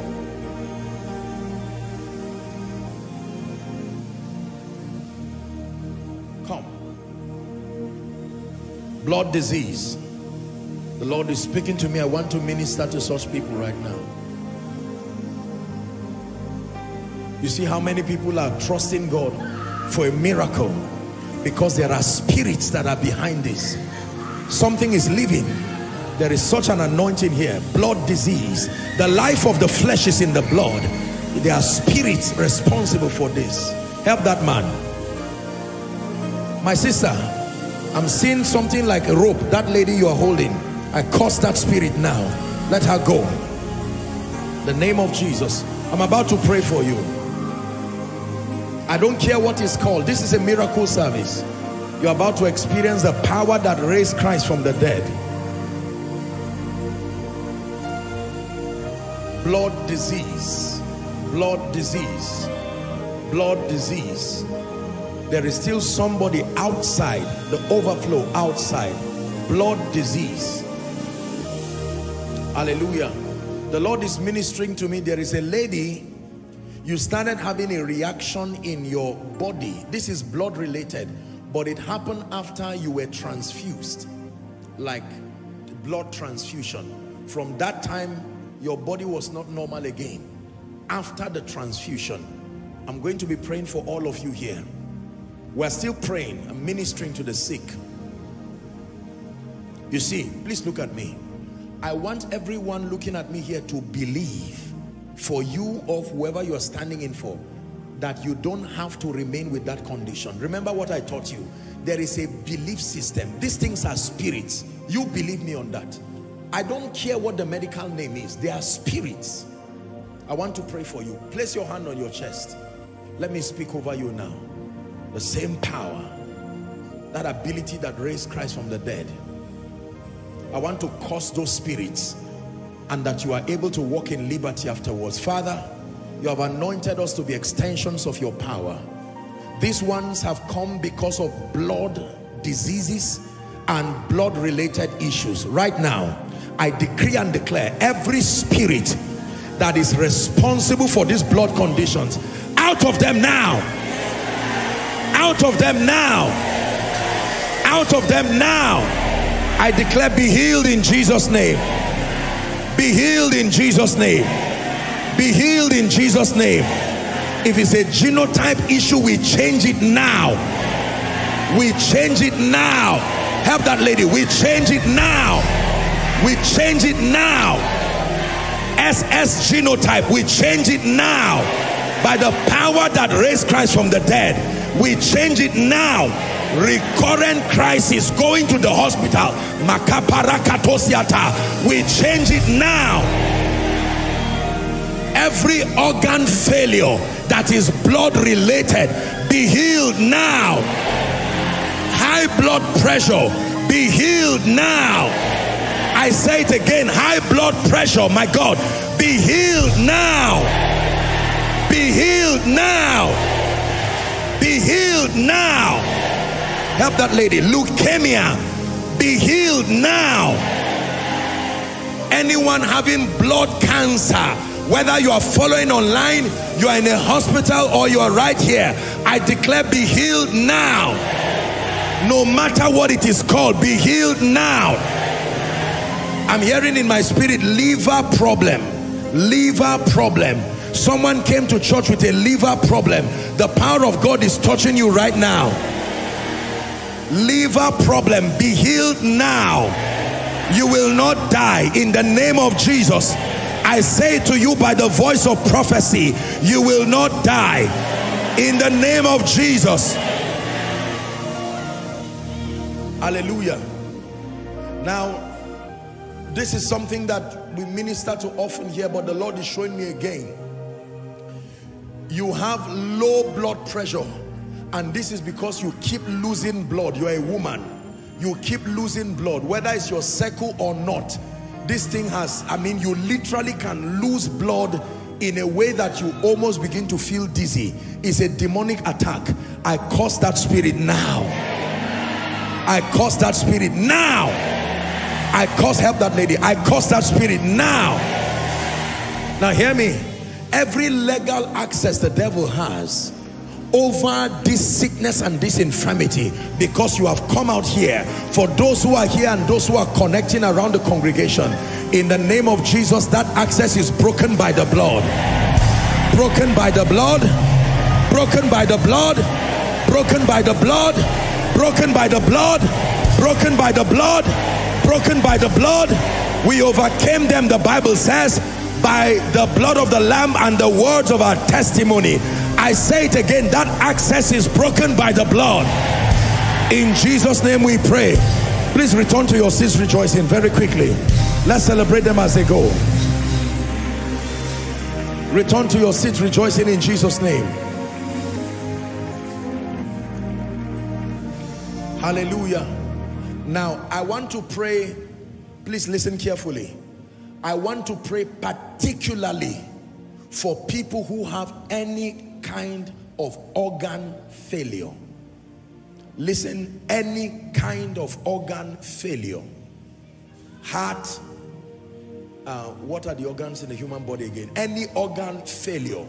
Please, make your way quickly. I, I sense a very strong anointing. Let's hurry up. Organ failure. Or if you are standing for someone, maybe you have their photo. When, when the power of God comes like this, make sure you receive. Don't wait and say you will see me after the service. That's not how it works. When the anointing comes, you strike when the iron is hot. Organ failure. They diagnose you of kidney, liver, heart problem. Maybe they say your heart is being enlarged. Please leave your seat and come. God wants to heal you now. Anointing in the sanctuary. There is a stillness in the atmosphere. Oh,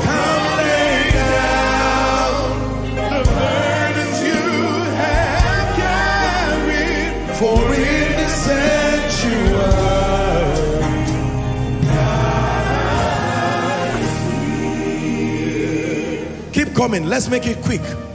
And whether you are coming or not, please make sure you are praying. Don't stand carelessly and you are watching. Connect also. And for those online, if there's someone close to you, maybe confined, a, a, a bed, wheelchair, something with some organ failure, there is a grace for creative miracles here right now. And I want you to release your faith. I want to pray for you. Look how many people standing for themselves or their loved ones. Whilst you're standing, please begin to pray. It's time to pick my new kidney. It's time to pick a new liver, new uh, whatever, enlarged heart. They told you already your heart is enlarged. Reject that, that, that, that demonic report.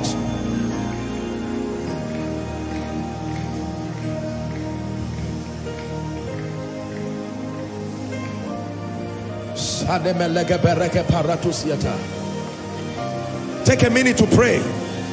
Ah, the healing power of Jesus is about to rest upon you. I am serving a living God. His name is Jesus Christ. He died and rose and gave me victory. I have victory. One more time, sing it from the depth of your heart. I am serving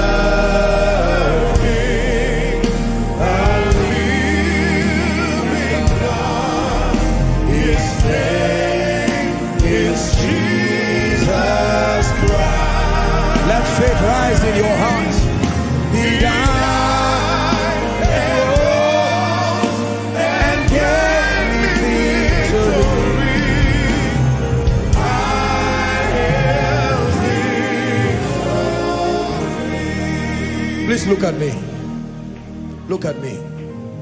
If God can bring life to bones that were very dry, he brought bones to be joined to its bone, Ezekiel 37, and life came to it again, then I want you to know that God can correct your organs.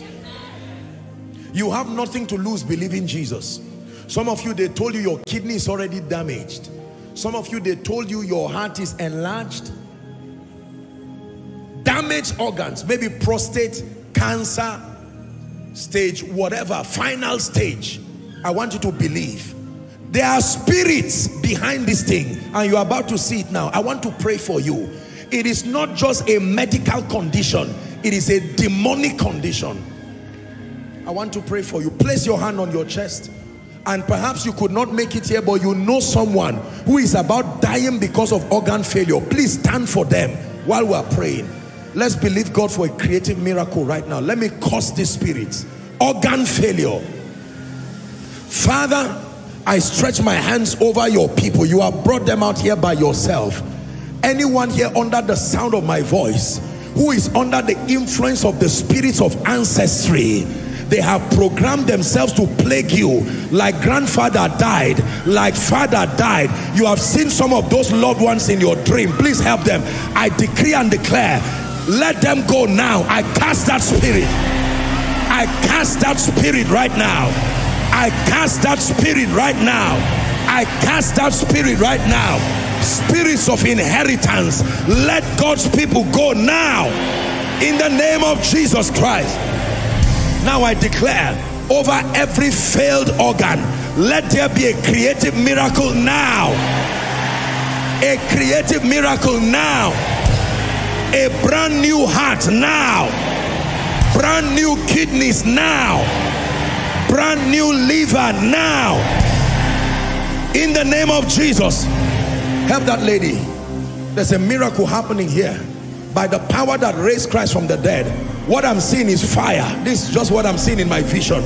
Like fire dropping on people. But this is not an impartation. This is like a refiner's fire purifying and taking away these dross from your body in the name of Jesus by this ministry of fire every organ that is failed every organ that is dying every organ that is cancerous every organ that is deteriorating receive life right now in Jesus name.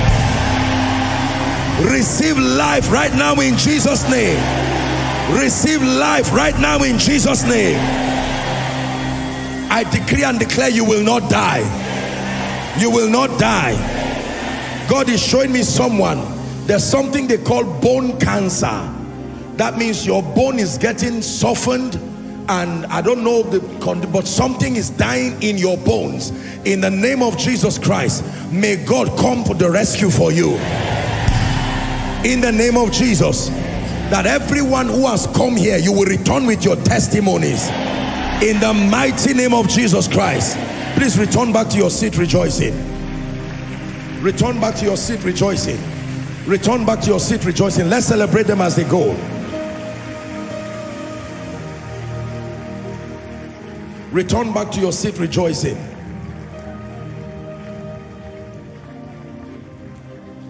Alina sovre kebalaku sabragedima lando sikata. Krite sila kaparunde sheleke priata. You don't have to come out, but if there is any growth in your body, breast lump, fibroid, whatever it is, you know there is a growth, noticeable growth. Please lay your hands there. I want to pray for you now. Please lay your hands. Lay your hands. I'm just I'm just working with what the Spirit of God is doing. Lay your hands. Please lay your hands. Great are you, Lord. Great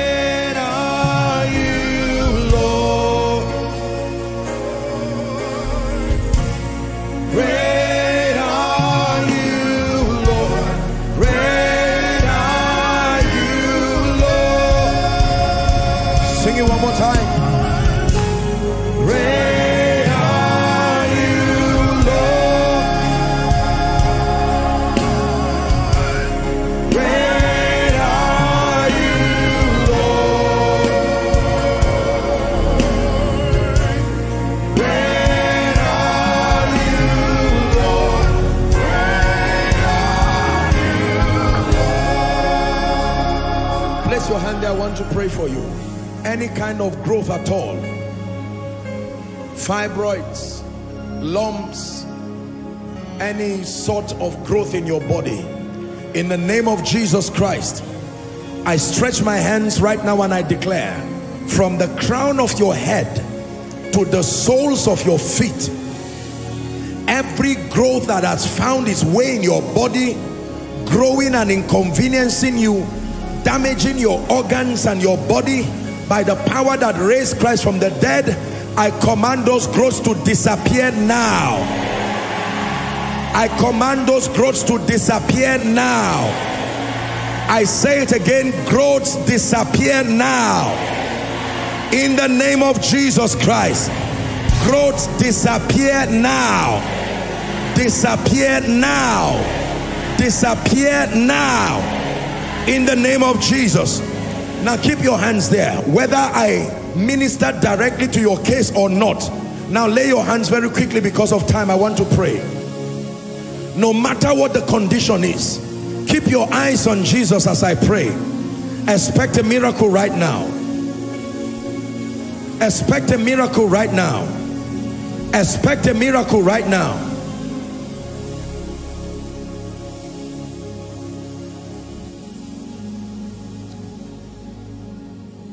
Father, I decree and declare over your people online, across our various expressions, and here on site, as many who have come with any and all bodily infirmities, plagued by demon spirits, afflicted, stelling on their health, in the name of Jesus, I decree and declare by the power that raised Jesus from the dead, let life surge to your body now.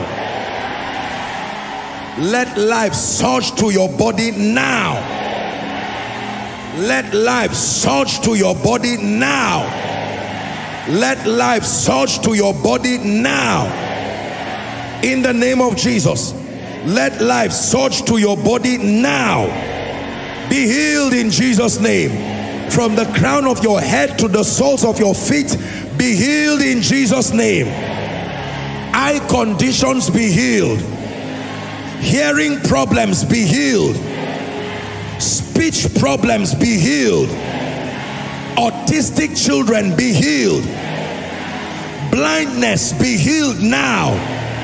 All those who could not walk pain bone conditions be healed in the name of Jesus you couldn't move any and all parts of your body be healed in the name of Jesus. Heart palpitations be healed. In the name of Jesus.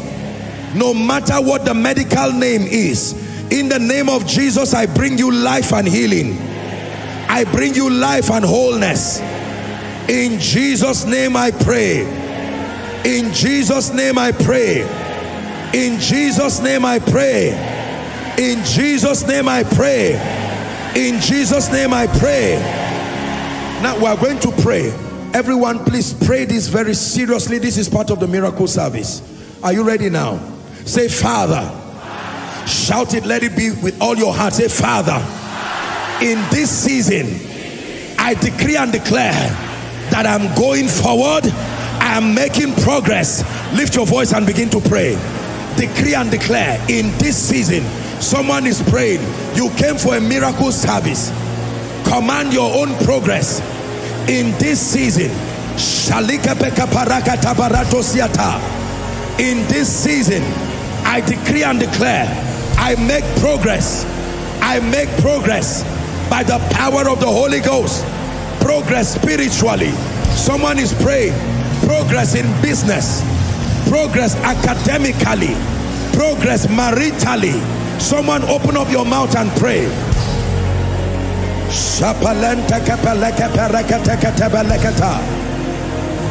Progress. Progress. Someone is praying in the name of Jesus. In this season, I make progress in ministry. I make progress in this season. I go forward. Every delay, every stagnation against my life, against my progress, I come against you. Someone is praying. A believer is praying.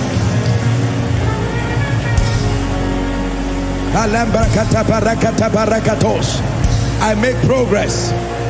I make progress. I make progress.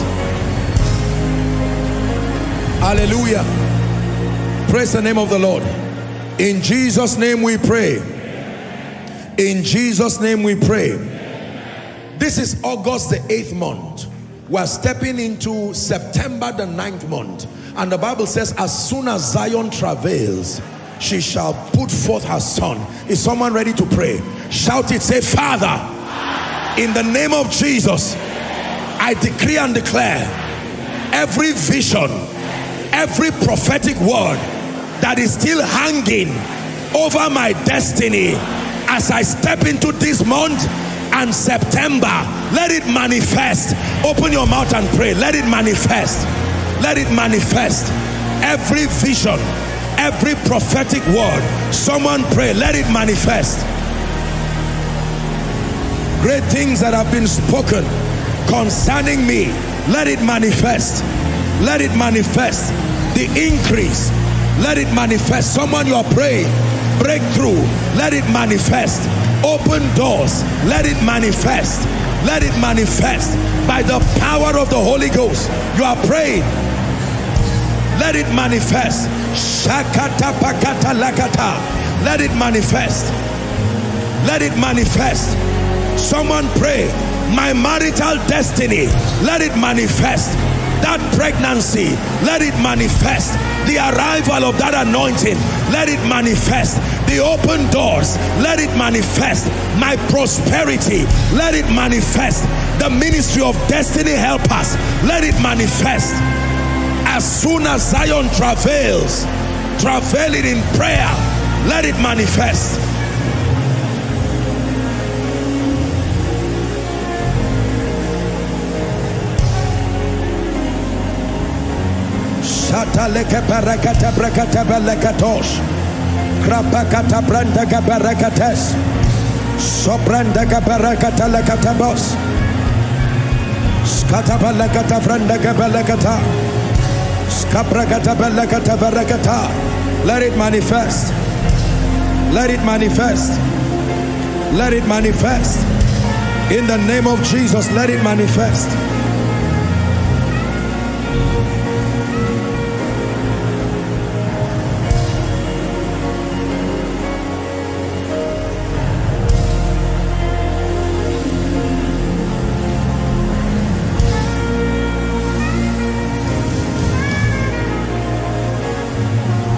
In Jesus' name we pray. In Jesus' name we pray. How many of you are ready to rebuke the spirit of delay? You're going to shout this, let it be from the depth of your heart. That there are many things God has said should be by now, but there are spirits that have vowed that you will never see the faithfulness of God in that area. Now is the time to clear them out of the way. Are you ready to pray? Shout it, say, Father. Shout it again, say, Father. In the name of Jesus, every delay over my life, over my destiny, by the blood of the eternal covenant, that delay is broken now. Open your mouth and pray. Broken now. Broken now. Delay, broken now. Go ahead and pray. Delay, broken now. Delay, broken now. Delay. Mention every area of your life. Cause delay. Cause delay. Cause delay. Call it by name. Cause it by the blood of the Lamb.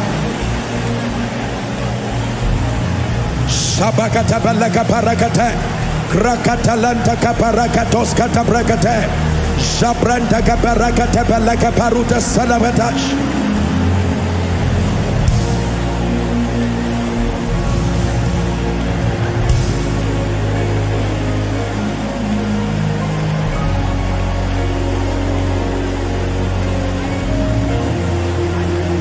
Take a minute and cause delay.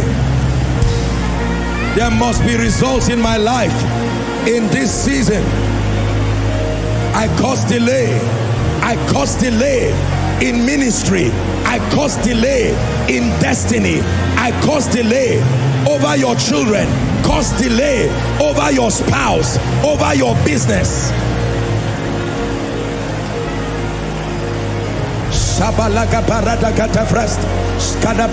kapalaga parata. Delay. Delay.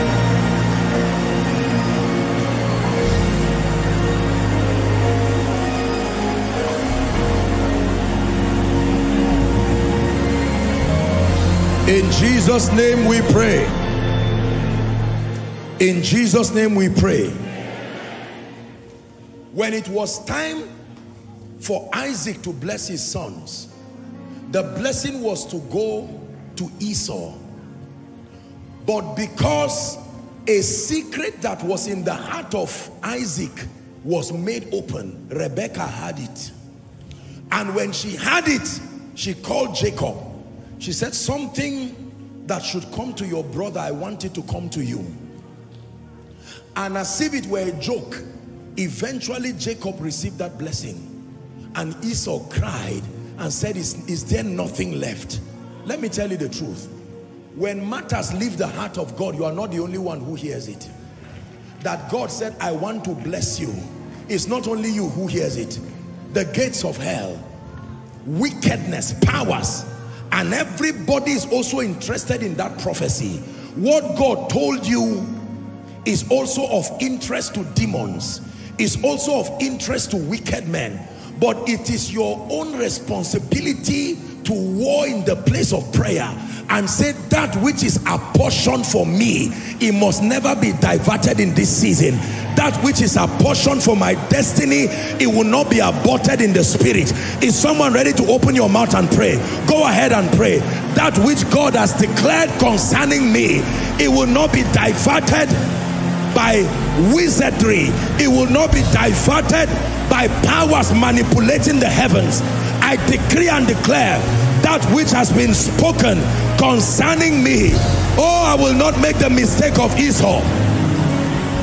I wore a good warfare with the prophecy. I wore a good warfare. My bishopric, another will not take. My bishopric, another will not take.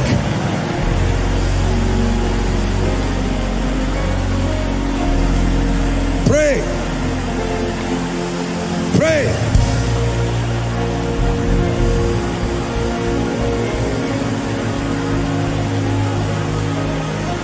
Barakata.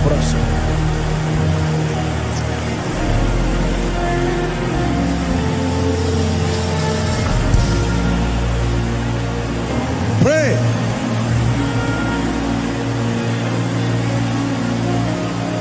In Jesus' name we pray. In Jesus' name we pray. Don't be tired of praying. You're partnering with God to produce victory. Now we're going to pray. We're going to call forth by faith the human agents who have been mandated to partner with prophecy so that it will be manifest in your life. You can call by faith. Remember, I have taught you because one man forgot, Joseph added two years in prison. So when God speaks, the manifestations of his word is not just mindset dependent. You have been taught here that it's also man dependent. We have dealt with the issue of mindset. Someone is going to pray. Shout it from the depth of your heart. Say, Father, every human agent who must come into partnership with prophecy for my sake, I cry unto you, may they arise now. Open your mouth and pray. Open your mouth and pray. Help us of the war. Open your mouth and pray. Endorse us. Open your mouth and pray. Don't be silent. Don't be careless. Declared by faith, ordained by God to partner with your rising, ordained by God to wipe the tears of shame from your eyes, ordained by God to see to your lifting, ordained by God, every human agent, decree and declare, they rise for your sake. They come to the rescue for your sake.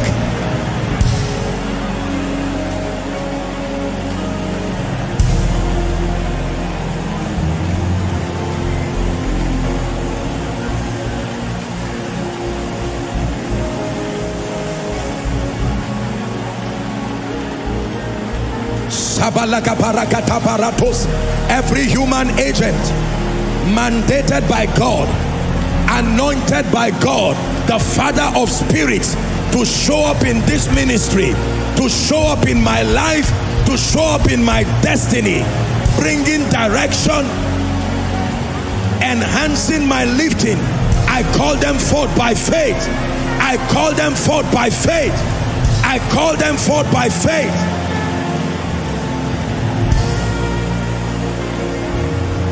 In Jesus' name we pray. In Jesus' name we pray. Two more prayer points. Don't be tired. You are returning with your testimonies for sure. In the name of Jesus. In the name of Jesus. You still believe in speed? Hmm. Yes, sir. That in four months, God is still able to bring you acceleration. Who believes that? Shout it after me with all your heart. Say, Father, even now, I still believe for speed, for acceleration. Open your mouth and pray. Even now, even now, it is August, but I still believe for my company. It is August, but I still believe for speed in ministry, speed in my destiny. Shake away unbelief and pray. Speed.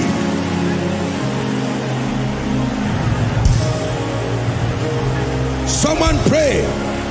Speed in establishment. Speed in your finances. Lord, do in one month what has not been done in five years.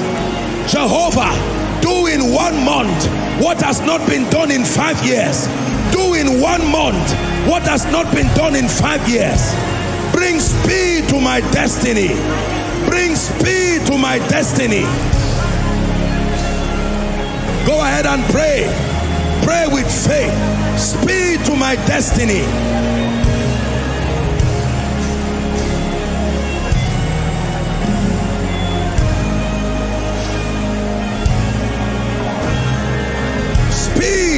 Shabalana makatabalagatos. Rakata brakata balaka katesh.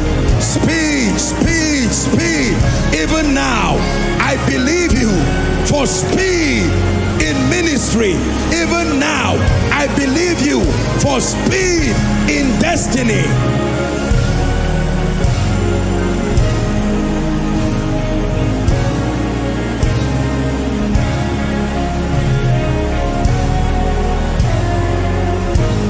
Hallelujah. In the name of Jesus. Mary cried and said, It's too late. The man is dead three days. He said, If you were here, Lazarus would not have died. But he said, Even now, even now, huh, even now, it is August. I feel that we should still pray that prayer again. We should pray. I don't know, it may not be for everybody. Father, do in one month what has not been done in five years. Go ahead and pray. Do in one month in my life. Do in one month in the life of my spouse. Do in one month in the life of my children. Do in one month in the destiny of Nigeria. Do in one month in my business. God can bring speed speed in your finances God can change the report in one month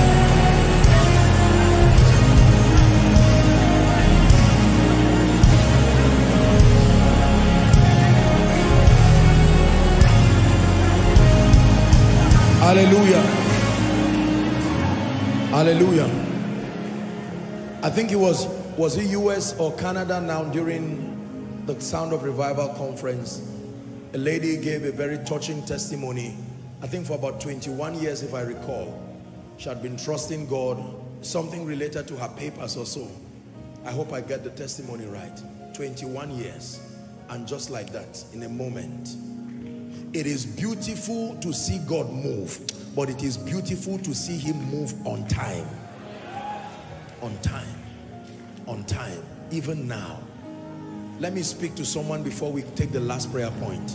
Everything that seems to be behind schedule in your life, in the name of Jesus, I decree and declare, if you have the faith to believe it, September will not meet you still desiring that miracle. I say to you, September will not meet you still desiring that miracle.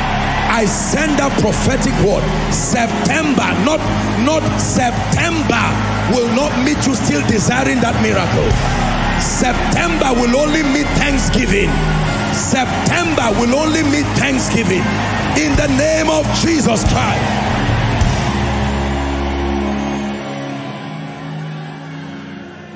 For those of you who think every prophetic word is a joke, the Bible says, despise not prophesying. I'm still saying it again.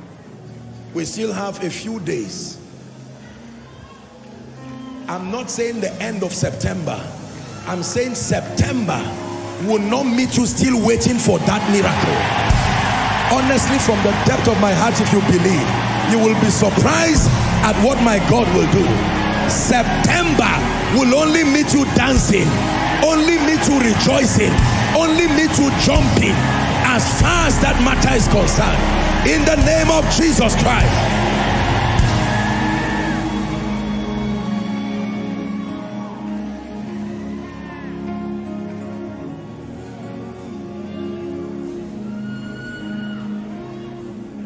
In the name of Jesus. It doesn't matter what the situation is. Shortly we'll be praying over the request. You see, when you come to God, take away your pain for a moment. If not, it will disrupt what God is doing. And you will find out that you will be hearing words that can change you. But something in you will be saying, is it true? Can God make a table in the wilderness? I know God moves, but can he step in for me that fast? It means you don't know God in case you didn't have the faith to receive i'm saying it again that the remaining days left until august is complete may that be the length of time left for your miracle to arrive the remaining days left until august is complete may that be the length of time left before you begin to testify in the name of jesus christ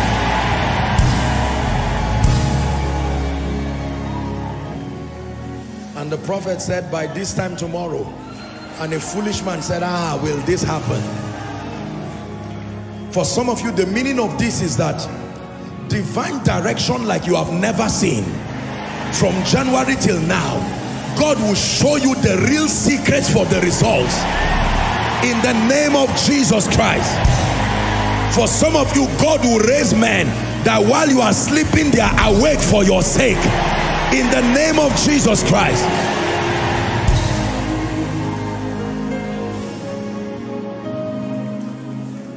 Let me give you the last prayer point. Very quickly, we have to hurry up. My God. The last prayer point. Are you ready to pray now? You're going to pray. And I wrote this while I was praying as God was just telling me the thing to be praying on. The final thing that I wrote here is we're going to pray. The spirits that take away joy. Listen, that when you receive a testimony, it doesn't seem to last there is no longevity. Have you seen people like that? As soon as a breakthrough comes, they are even afraid because another news will soon follow. I don't know about you, but take the next two to three minutes. You are going to war in the spirit. Whatever the Lord doeth, it endures forever. Lord, I will not laugh today and cry tomorrow. I will not celebrate today and cry tomorrow. You will not start something and then leave me in shame. Someone open your mouth, say, Father, bring your word to completion in my life and give it longevity in my life. Open your mouth and pray.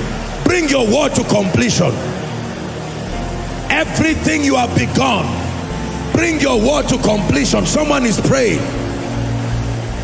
Bring your word to completion. Bring your word to completion and give it longevity let me not rejoice today and cry tomorrow. Let me not celebrate your blessing today and lose it tomorrow. Let me not celebrate promotion today and lose it tomorrow. You don't lift men up and bring them down.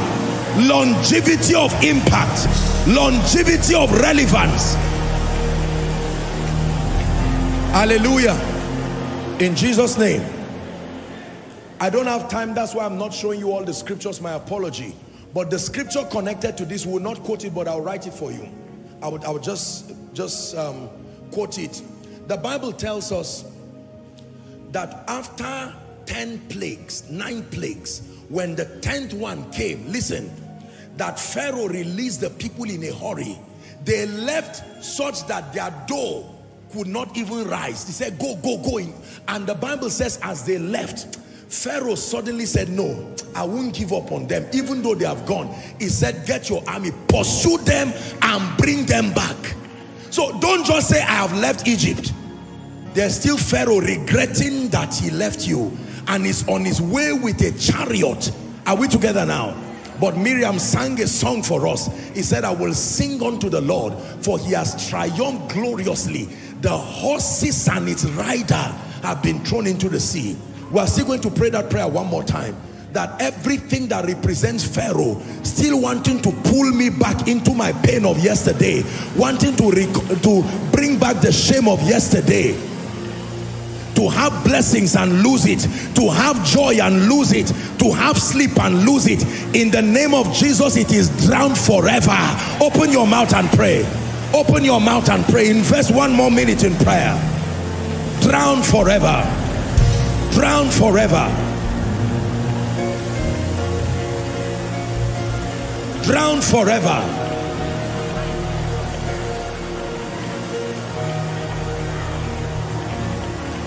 I have left Egypt. I will never return there as a slave again. I've been called to walk in liberty. I will never return there in shame again.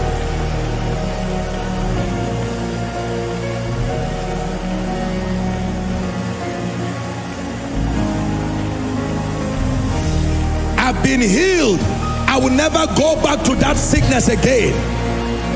The spirit that resurrects trouble, resurrects pain, resurrects shame, resurrects disappointment. I curse you over my life.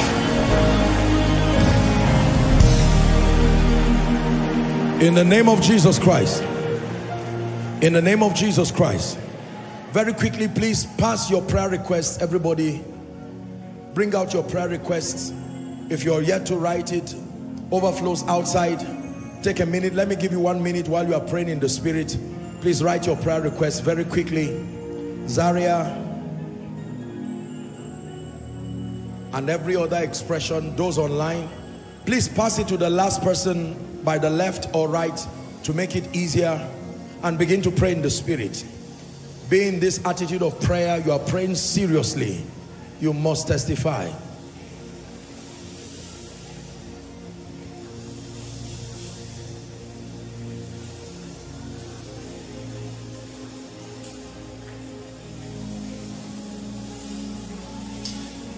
Go ahead and very quickly.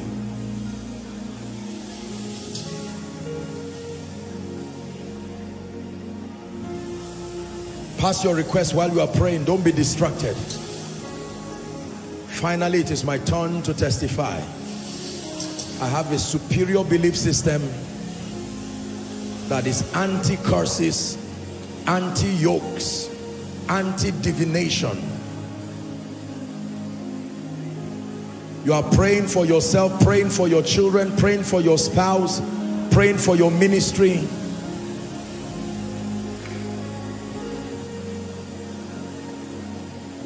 Very quickly, let's have the prayer request. Ushers, let's make it fast. Very quick, very quick. Let's have it so that we can pray. Please make sure your prayer request gets here. If you're yet to submit, just wave it and an usher will see it. Wave it very quickly Ushers, let's, let's be fast about that.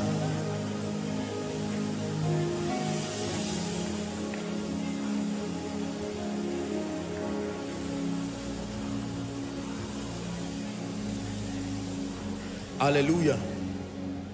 Let me give you one more prayer point. I just saw a vision now and I want us to pray that prayer point. I just saw like blood dripping. I know what it means.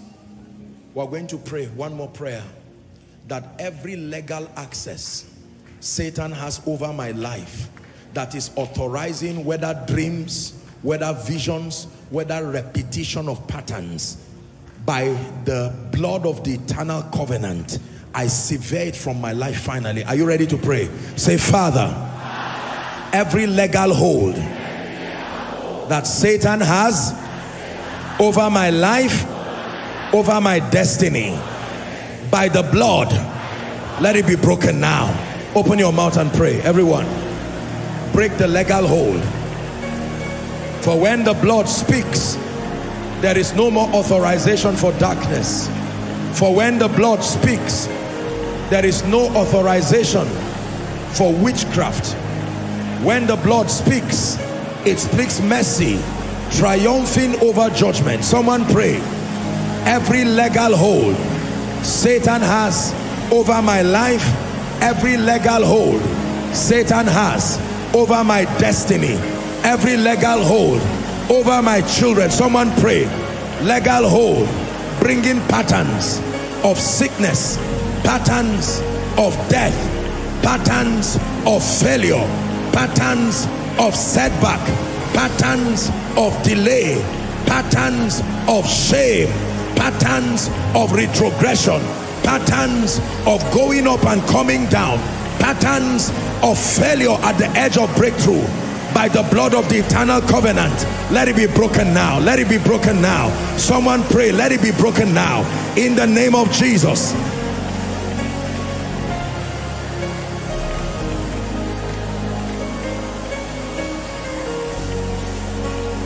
let it be broken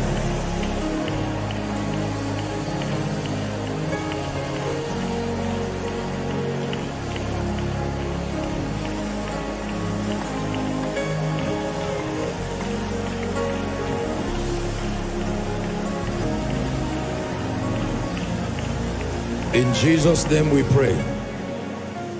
In Jesus' name we pray. We're about to pray over this, but I want to pray a very special prayer now very quickly. This prayer on the blood, I want to make a decree. We don't have time to bring all the people out, but please, anyone under the anointing, ushers, just, just help them. I know you are multitasking, but I want to pray. There are people here who are victims of the legal hold of darkness.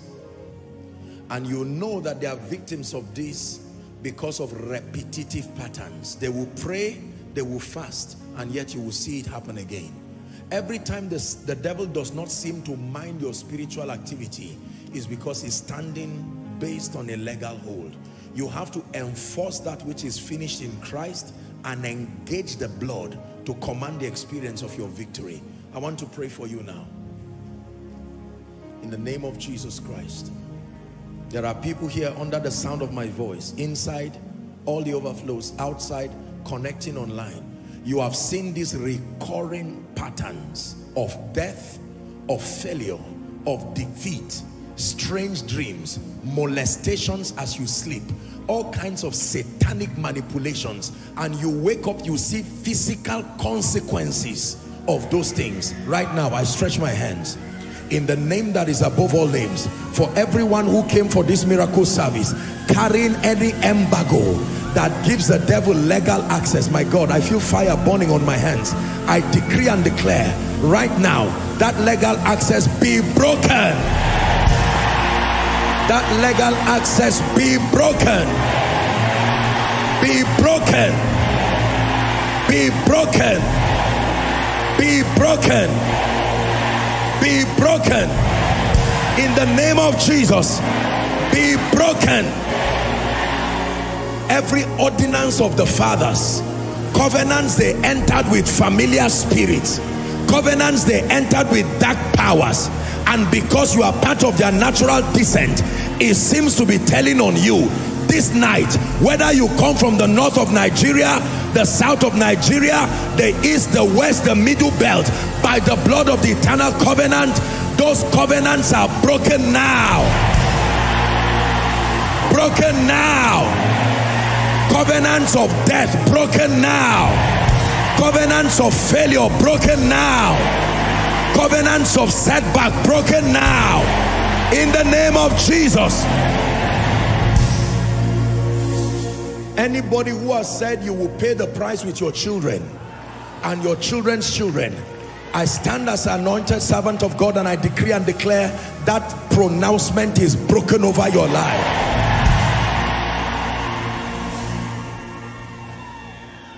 I've shared it here in Koinonia. A young man who was always causing his mother pain. This is a story I know of many years ago. The mother cursed him and she said he will only stop stealing the day a rat stops stealing that's what the mother told him that for as long as you have the mouse rat stealing that he will keep stealing and truly bring him out of the prison he will go back again after a few days.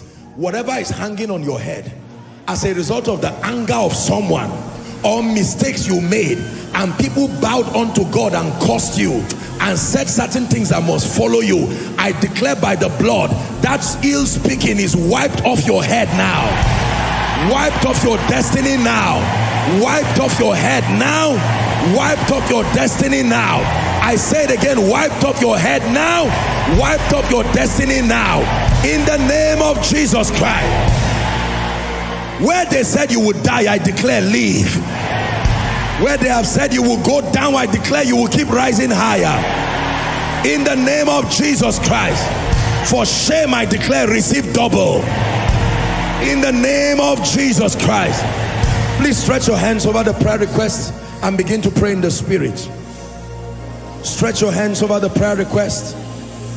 Begin to pray in the spirit. Please stretch your hands over the prayer requests pray in the spirit. In one minute. You are praying in the spirit. You are praying in the spirit. If you're bringing it bring it quickly quickly please go ahead and pray believers. Stretch your hands and declare. As I've written it here I'm picking up my testimony. One by one I wrote them. One by one I will record the testimony. Go ahead and pray. To the God of all flesh the giver of every good thing. I have not written for shame. I have not written for embarrassment. I have not written just to write and write and write again the growth required for answers I contend for it. The prayers required for answers I contend for it. The character traits required for answers I contend for it. The prophetic word required for answers I contend for it. The formula I must engage required for answers I contend for it. Go ahead and pray.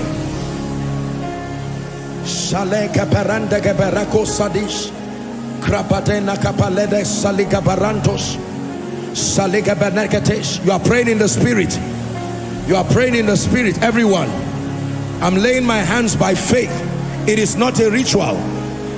We pray by faith, believing that the God of all grace is bringing testimonies. The God of all grace bringing testimonies. The God of all grace changing stories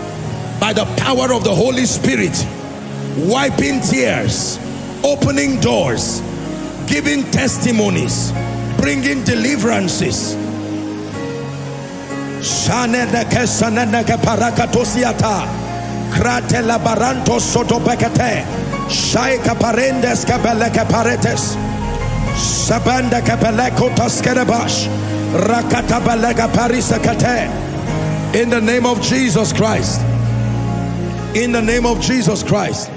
The Bible says, unto he that answers prayer shall all flesh come. In the name of Jesus Christ, I decree and declare over every one request written here, may you stand on this altar to testify. May you stand on this altar to testify. One by one you wrote this request, one by one you will testify. In the name of Jesus Christ. And I pray for you from the depth of my heart. All that it takes under God to see this request turn to answers may they happen for you. If it is growth let it happen for you. If it's the ministry of men may they come speedily. If it's diligence let it come for you. If it's wisdom you need to engage may you receive the wisdom to engage. In the name of Jesus Christ every demonic power fighting these answers I decree and declare by the blood of the eternal covenant they are banished and forbidden from influencing these answers in Jesus name. In the name of Jesus Christ. In the name of Jesus Christ. I call this request a harvest of answers. I call this request a harvest of answers. For in Jesus name we pray in Jesus' name we pray. In Jesus' name we pray. In Jesus' name we pray. Let me speak over someone.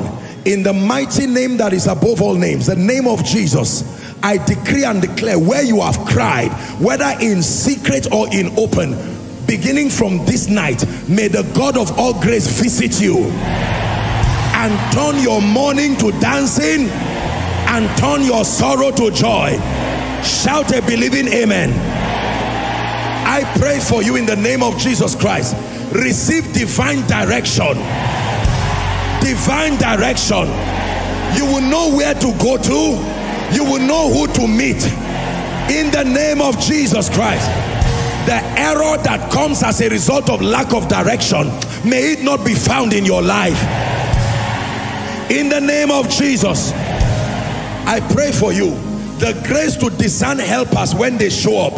May God open your eyes so that you will see and you can receive of your helpers. In the name of Jesus. Hallelujah. I was told of someone who left his house. Very sad story. Whether is it that he left his house going to the market and a car just rammed and he died and the family members did not even know that he died. Let me pray for you uh, I've had many of those stories, but you know, I just saw it by text and I was saying, can you imagine that? That people were calling who, who has this dead body and they had to find a way of taking the dead body to the hospital. That's not how the saints go. The Bible says, they who are in Christ sleep and those who sleep, sleep at night. When you sleep in the afternoon, it's called siesta. You are expected to wake up. Am I right? I pray for you. Every manifestation of death to cut short your life either by accident by activities of terrorists by crashes car crash plane crash because you have come for this miracle service. I place a mark of exemption upon your head. I place a mark of exemption upon your head. I place a mark of exemption upon your head. I declare live and not die. Live and not die. As you travel live and not die in the name of Jesus Christ Number two, the Bible speaks about a man called Gamaliel. I found a scripture that blessed me. Acts chapter 5 and verse 34, NIV. A Pharisee called Gamaliel, the Bible says something notable about him and I want to speak it over your life. But a Pharisee named Gamaliel, a teacher of the law, who was honored by all the people. Honored by who? So something can come upon a man that makes you honored not just by your people, but by all the people. I want to release that grace upon you. The grace that can make a man honored by all men, all the people, whether they are connected to you or not, in your place of work. I pray for you, like it happened for Gamaliel. May that grace for honor rest upon your life. You will be honored by your superiors. You will be honored by your contemporaries. You will be honored by your subordinates in the name of Jesus Christ. Hallelujah. In the name of Jesus, let me speak recovery. When you have lost things, you don't need advancement. You need recovery first. Some of you have lost money. Some of you have lost connections. Some of you have lost favor. Some of you have lost many things. You have even lost the secrets that protect your grace. You have lost the secrets that protect your anointing. You've lost the secrets that protect your relevance. I pray for you in the name of Jesus tonight. Let there be a recovery. Let there be a recovery. Let there be restoration. I speak it to you. Receive restoration. Receive recovery in the name of Jesus Christ. For many of us here, what has kept us down is ignorance. I shared some of them today to liberate you, but the journey must be ongoing. I pray for you. The right information needed in this season to bail you out of a life of ignorance and stagnancy. Access those materials. Access those information. Access those materials. Access those information in the name of Jesus Christ. My final prayer for you before I do the altar call. Final prayer. I will never stop this service without praying the prayer of favor for you. I don't know how people live without it. I honestly do not know how people live without the favor of God. It's like living without oxygen. It's like living without the ability to talk, to walk, to hear, to feel. There are people like that in the hospital. When you find them, only their neck moves. They can't talk. They can't do anything. They are already blind. They can't hear. It's a terrible way to live. These are the kinds of states that makes you to prefer death than even to be alive. But I pray for you. Favor is a game changer in the life of men. Believe me, when it really rests upon you, genuinely rests upon you, it makes the difference. And it does so fast. I pray for you. Speaking in the area of your finances, speaking in the area of your relationships, speaking in the area of progress and destiny, receive favor. Receive favor. Notable favor. Notable favor. As a deposit of God's grace upon your life, let favor begin to speak. Let it speak immediately. Let it speak now. Let it speak tonight. Let it speak this week in the name of Jesus. And it will not just speak once. May it speak again and again and again. May it speak again and again and again. May it speak again and again and again. In the name of Jesus Christ. Now let me pray for your spiritual life. I should pray for your spiritual life. Some of you are not serious with God spiritually. Please look at me. I'm not doing an altar call yet. This is to everybody. Some of you are just not serious with God, it's an attack. Prayer life, zero. Word study life, occasionally.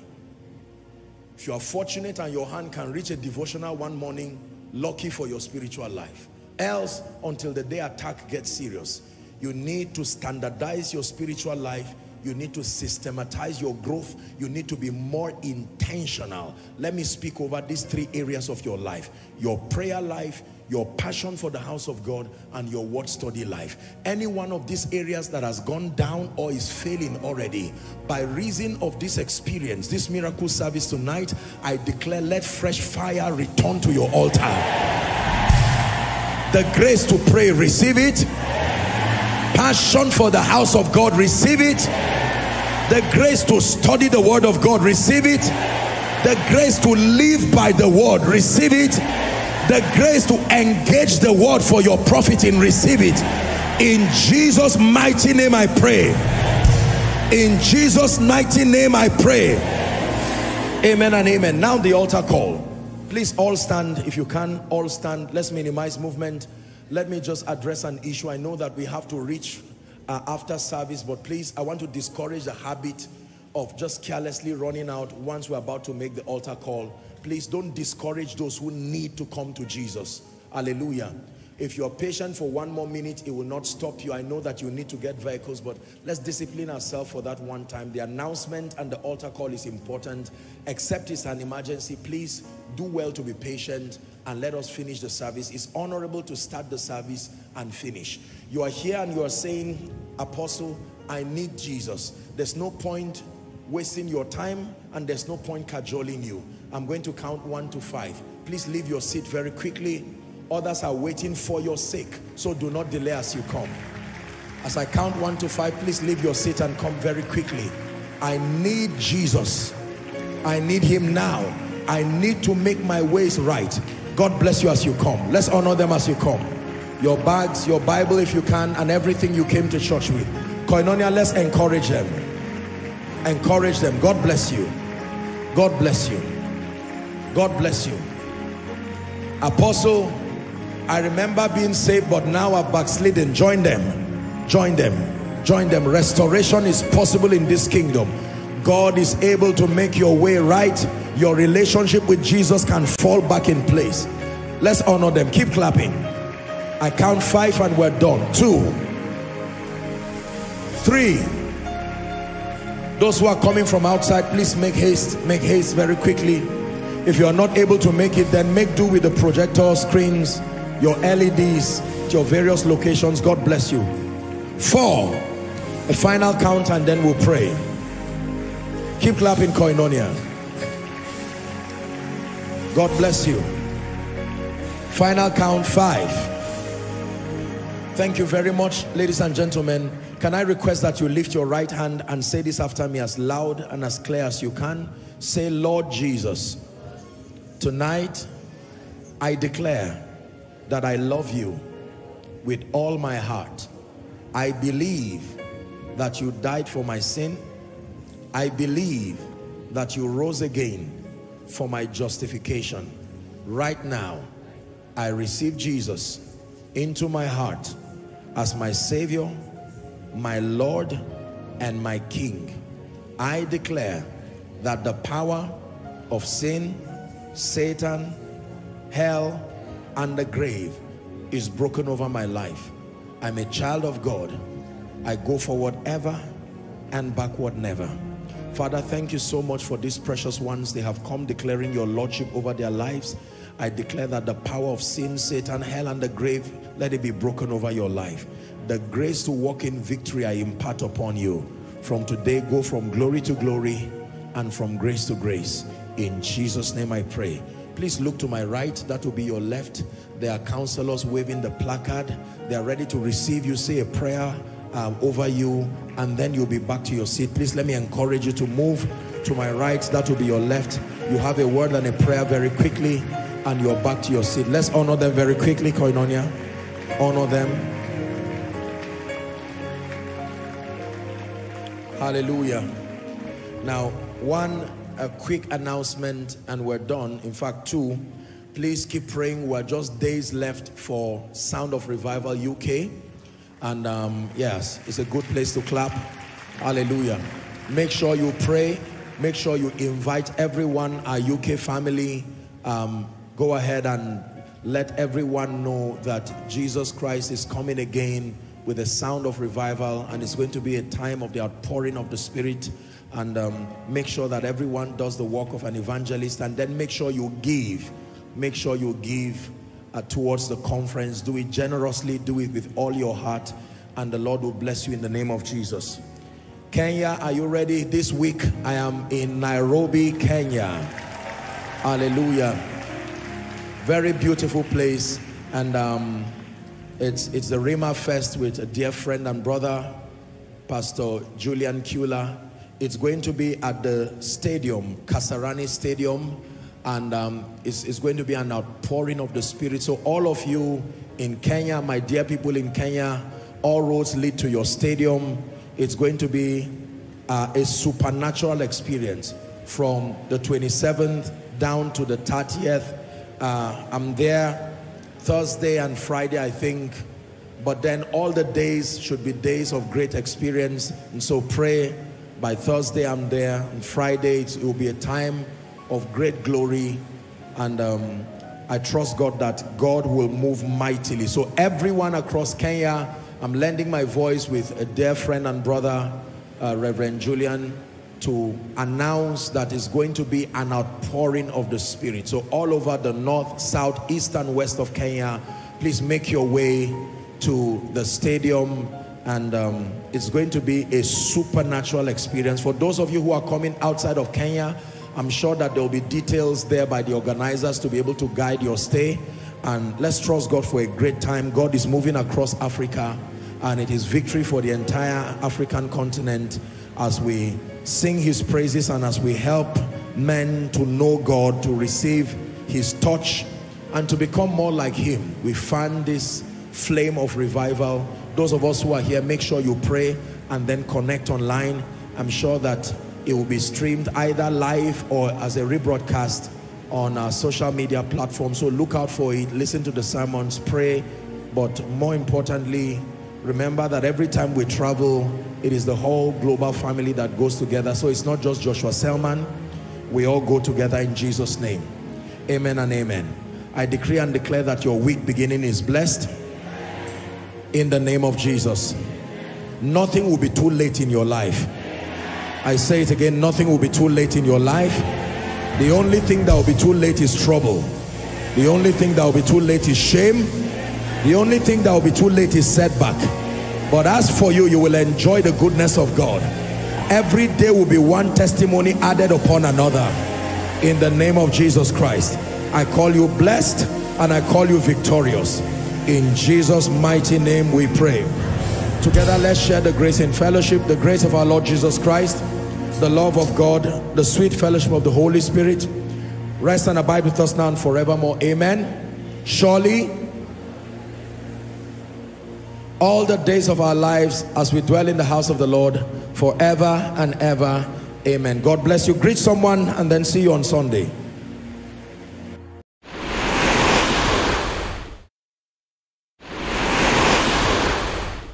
Thanks for watching Revival Time Hub. But be ye doers of the word, and not hearers only, deceiving your own selves. For if any be a hearer of the word, and not a doer, he is like unto a man beholding his natural face in a glass, for he beholdeth himself, and goeth his way, and straightway forgetteth what manner of man he was.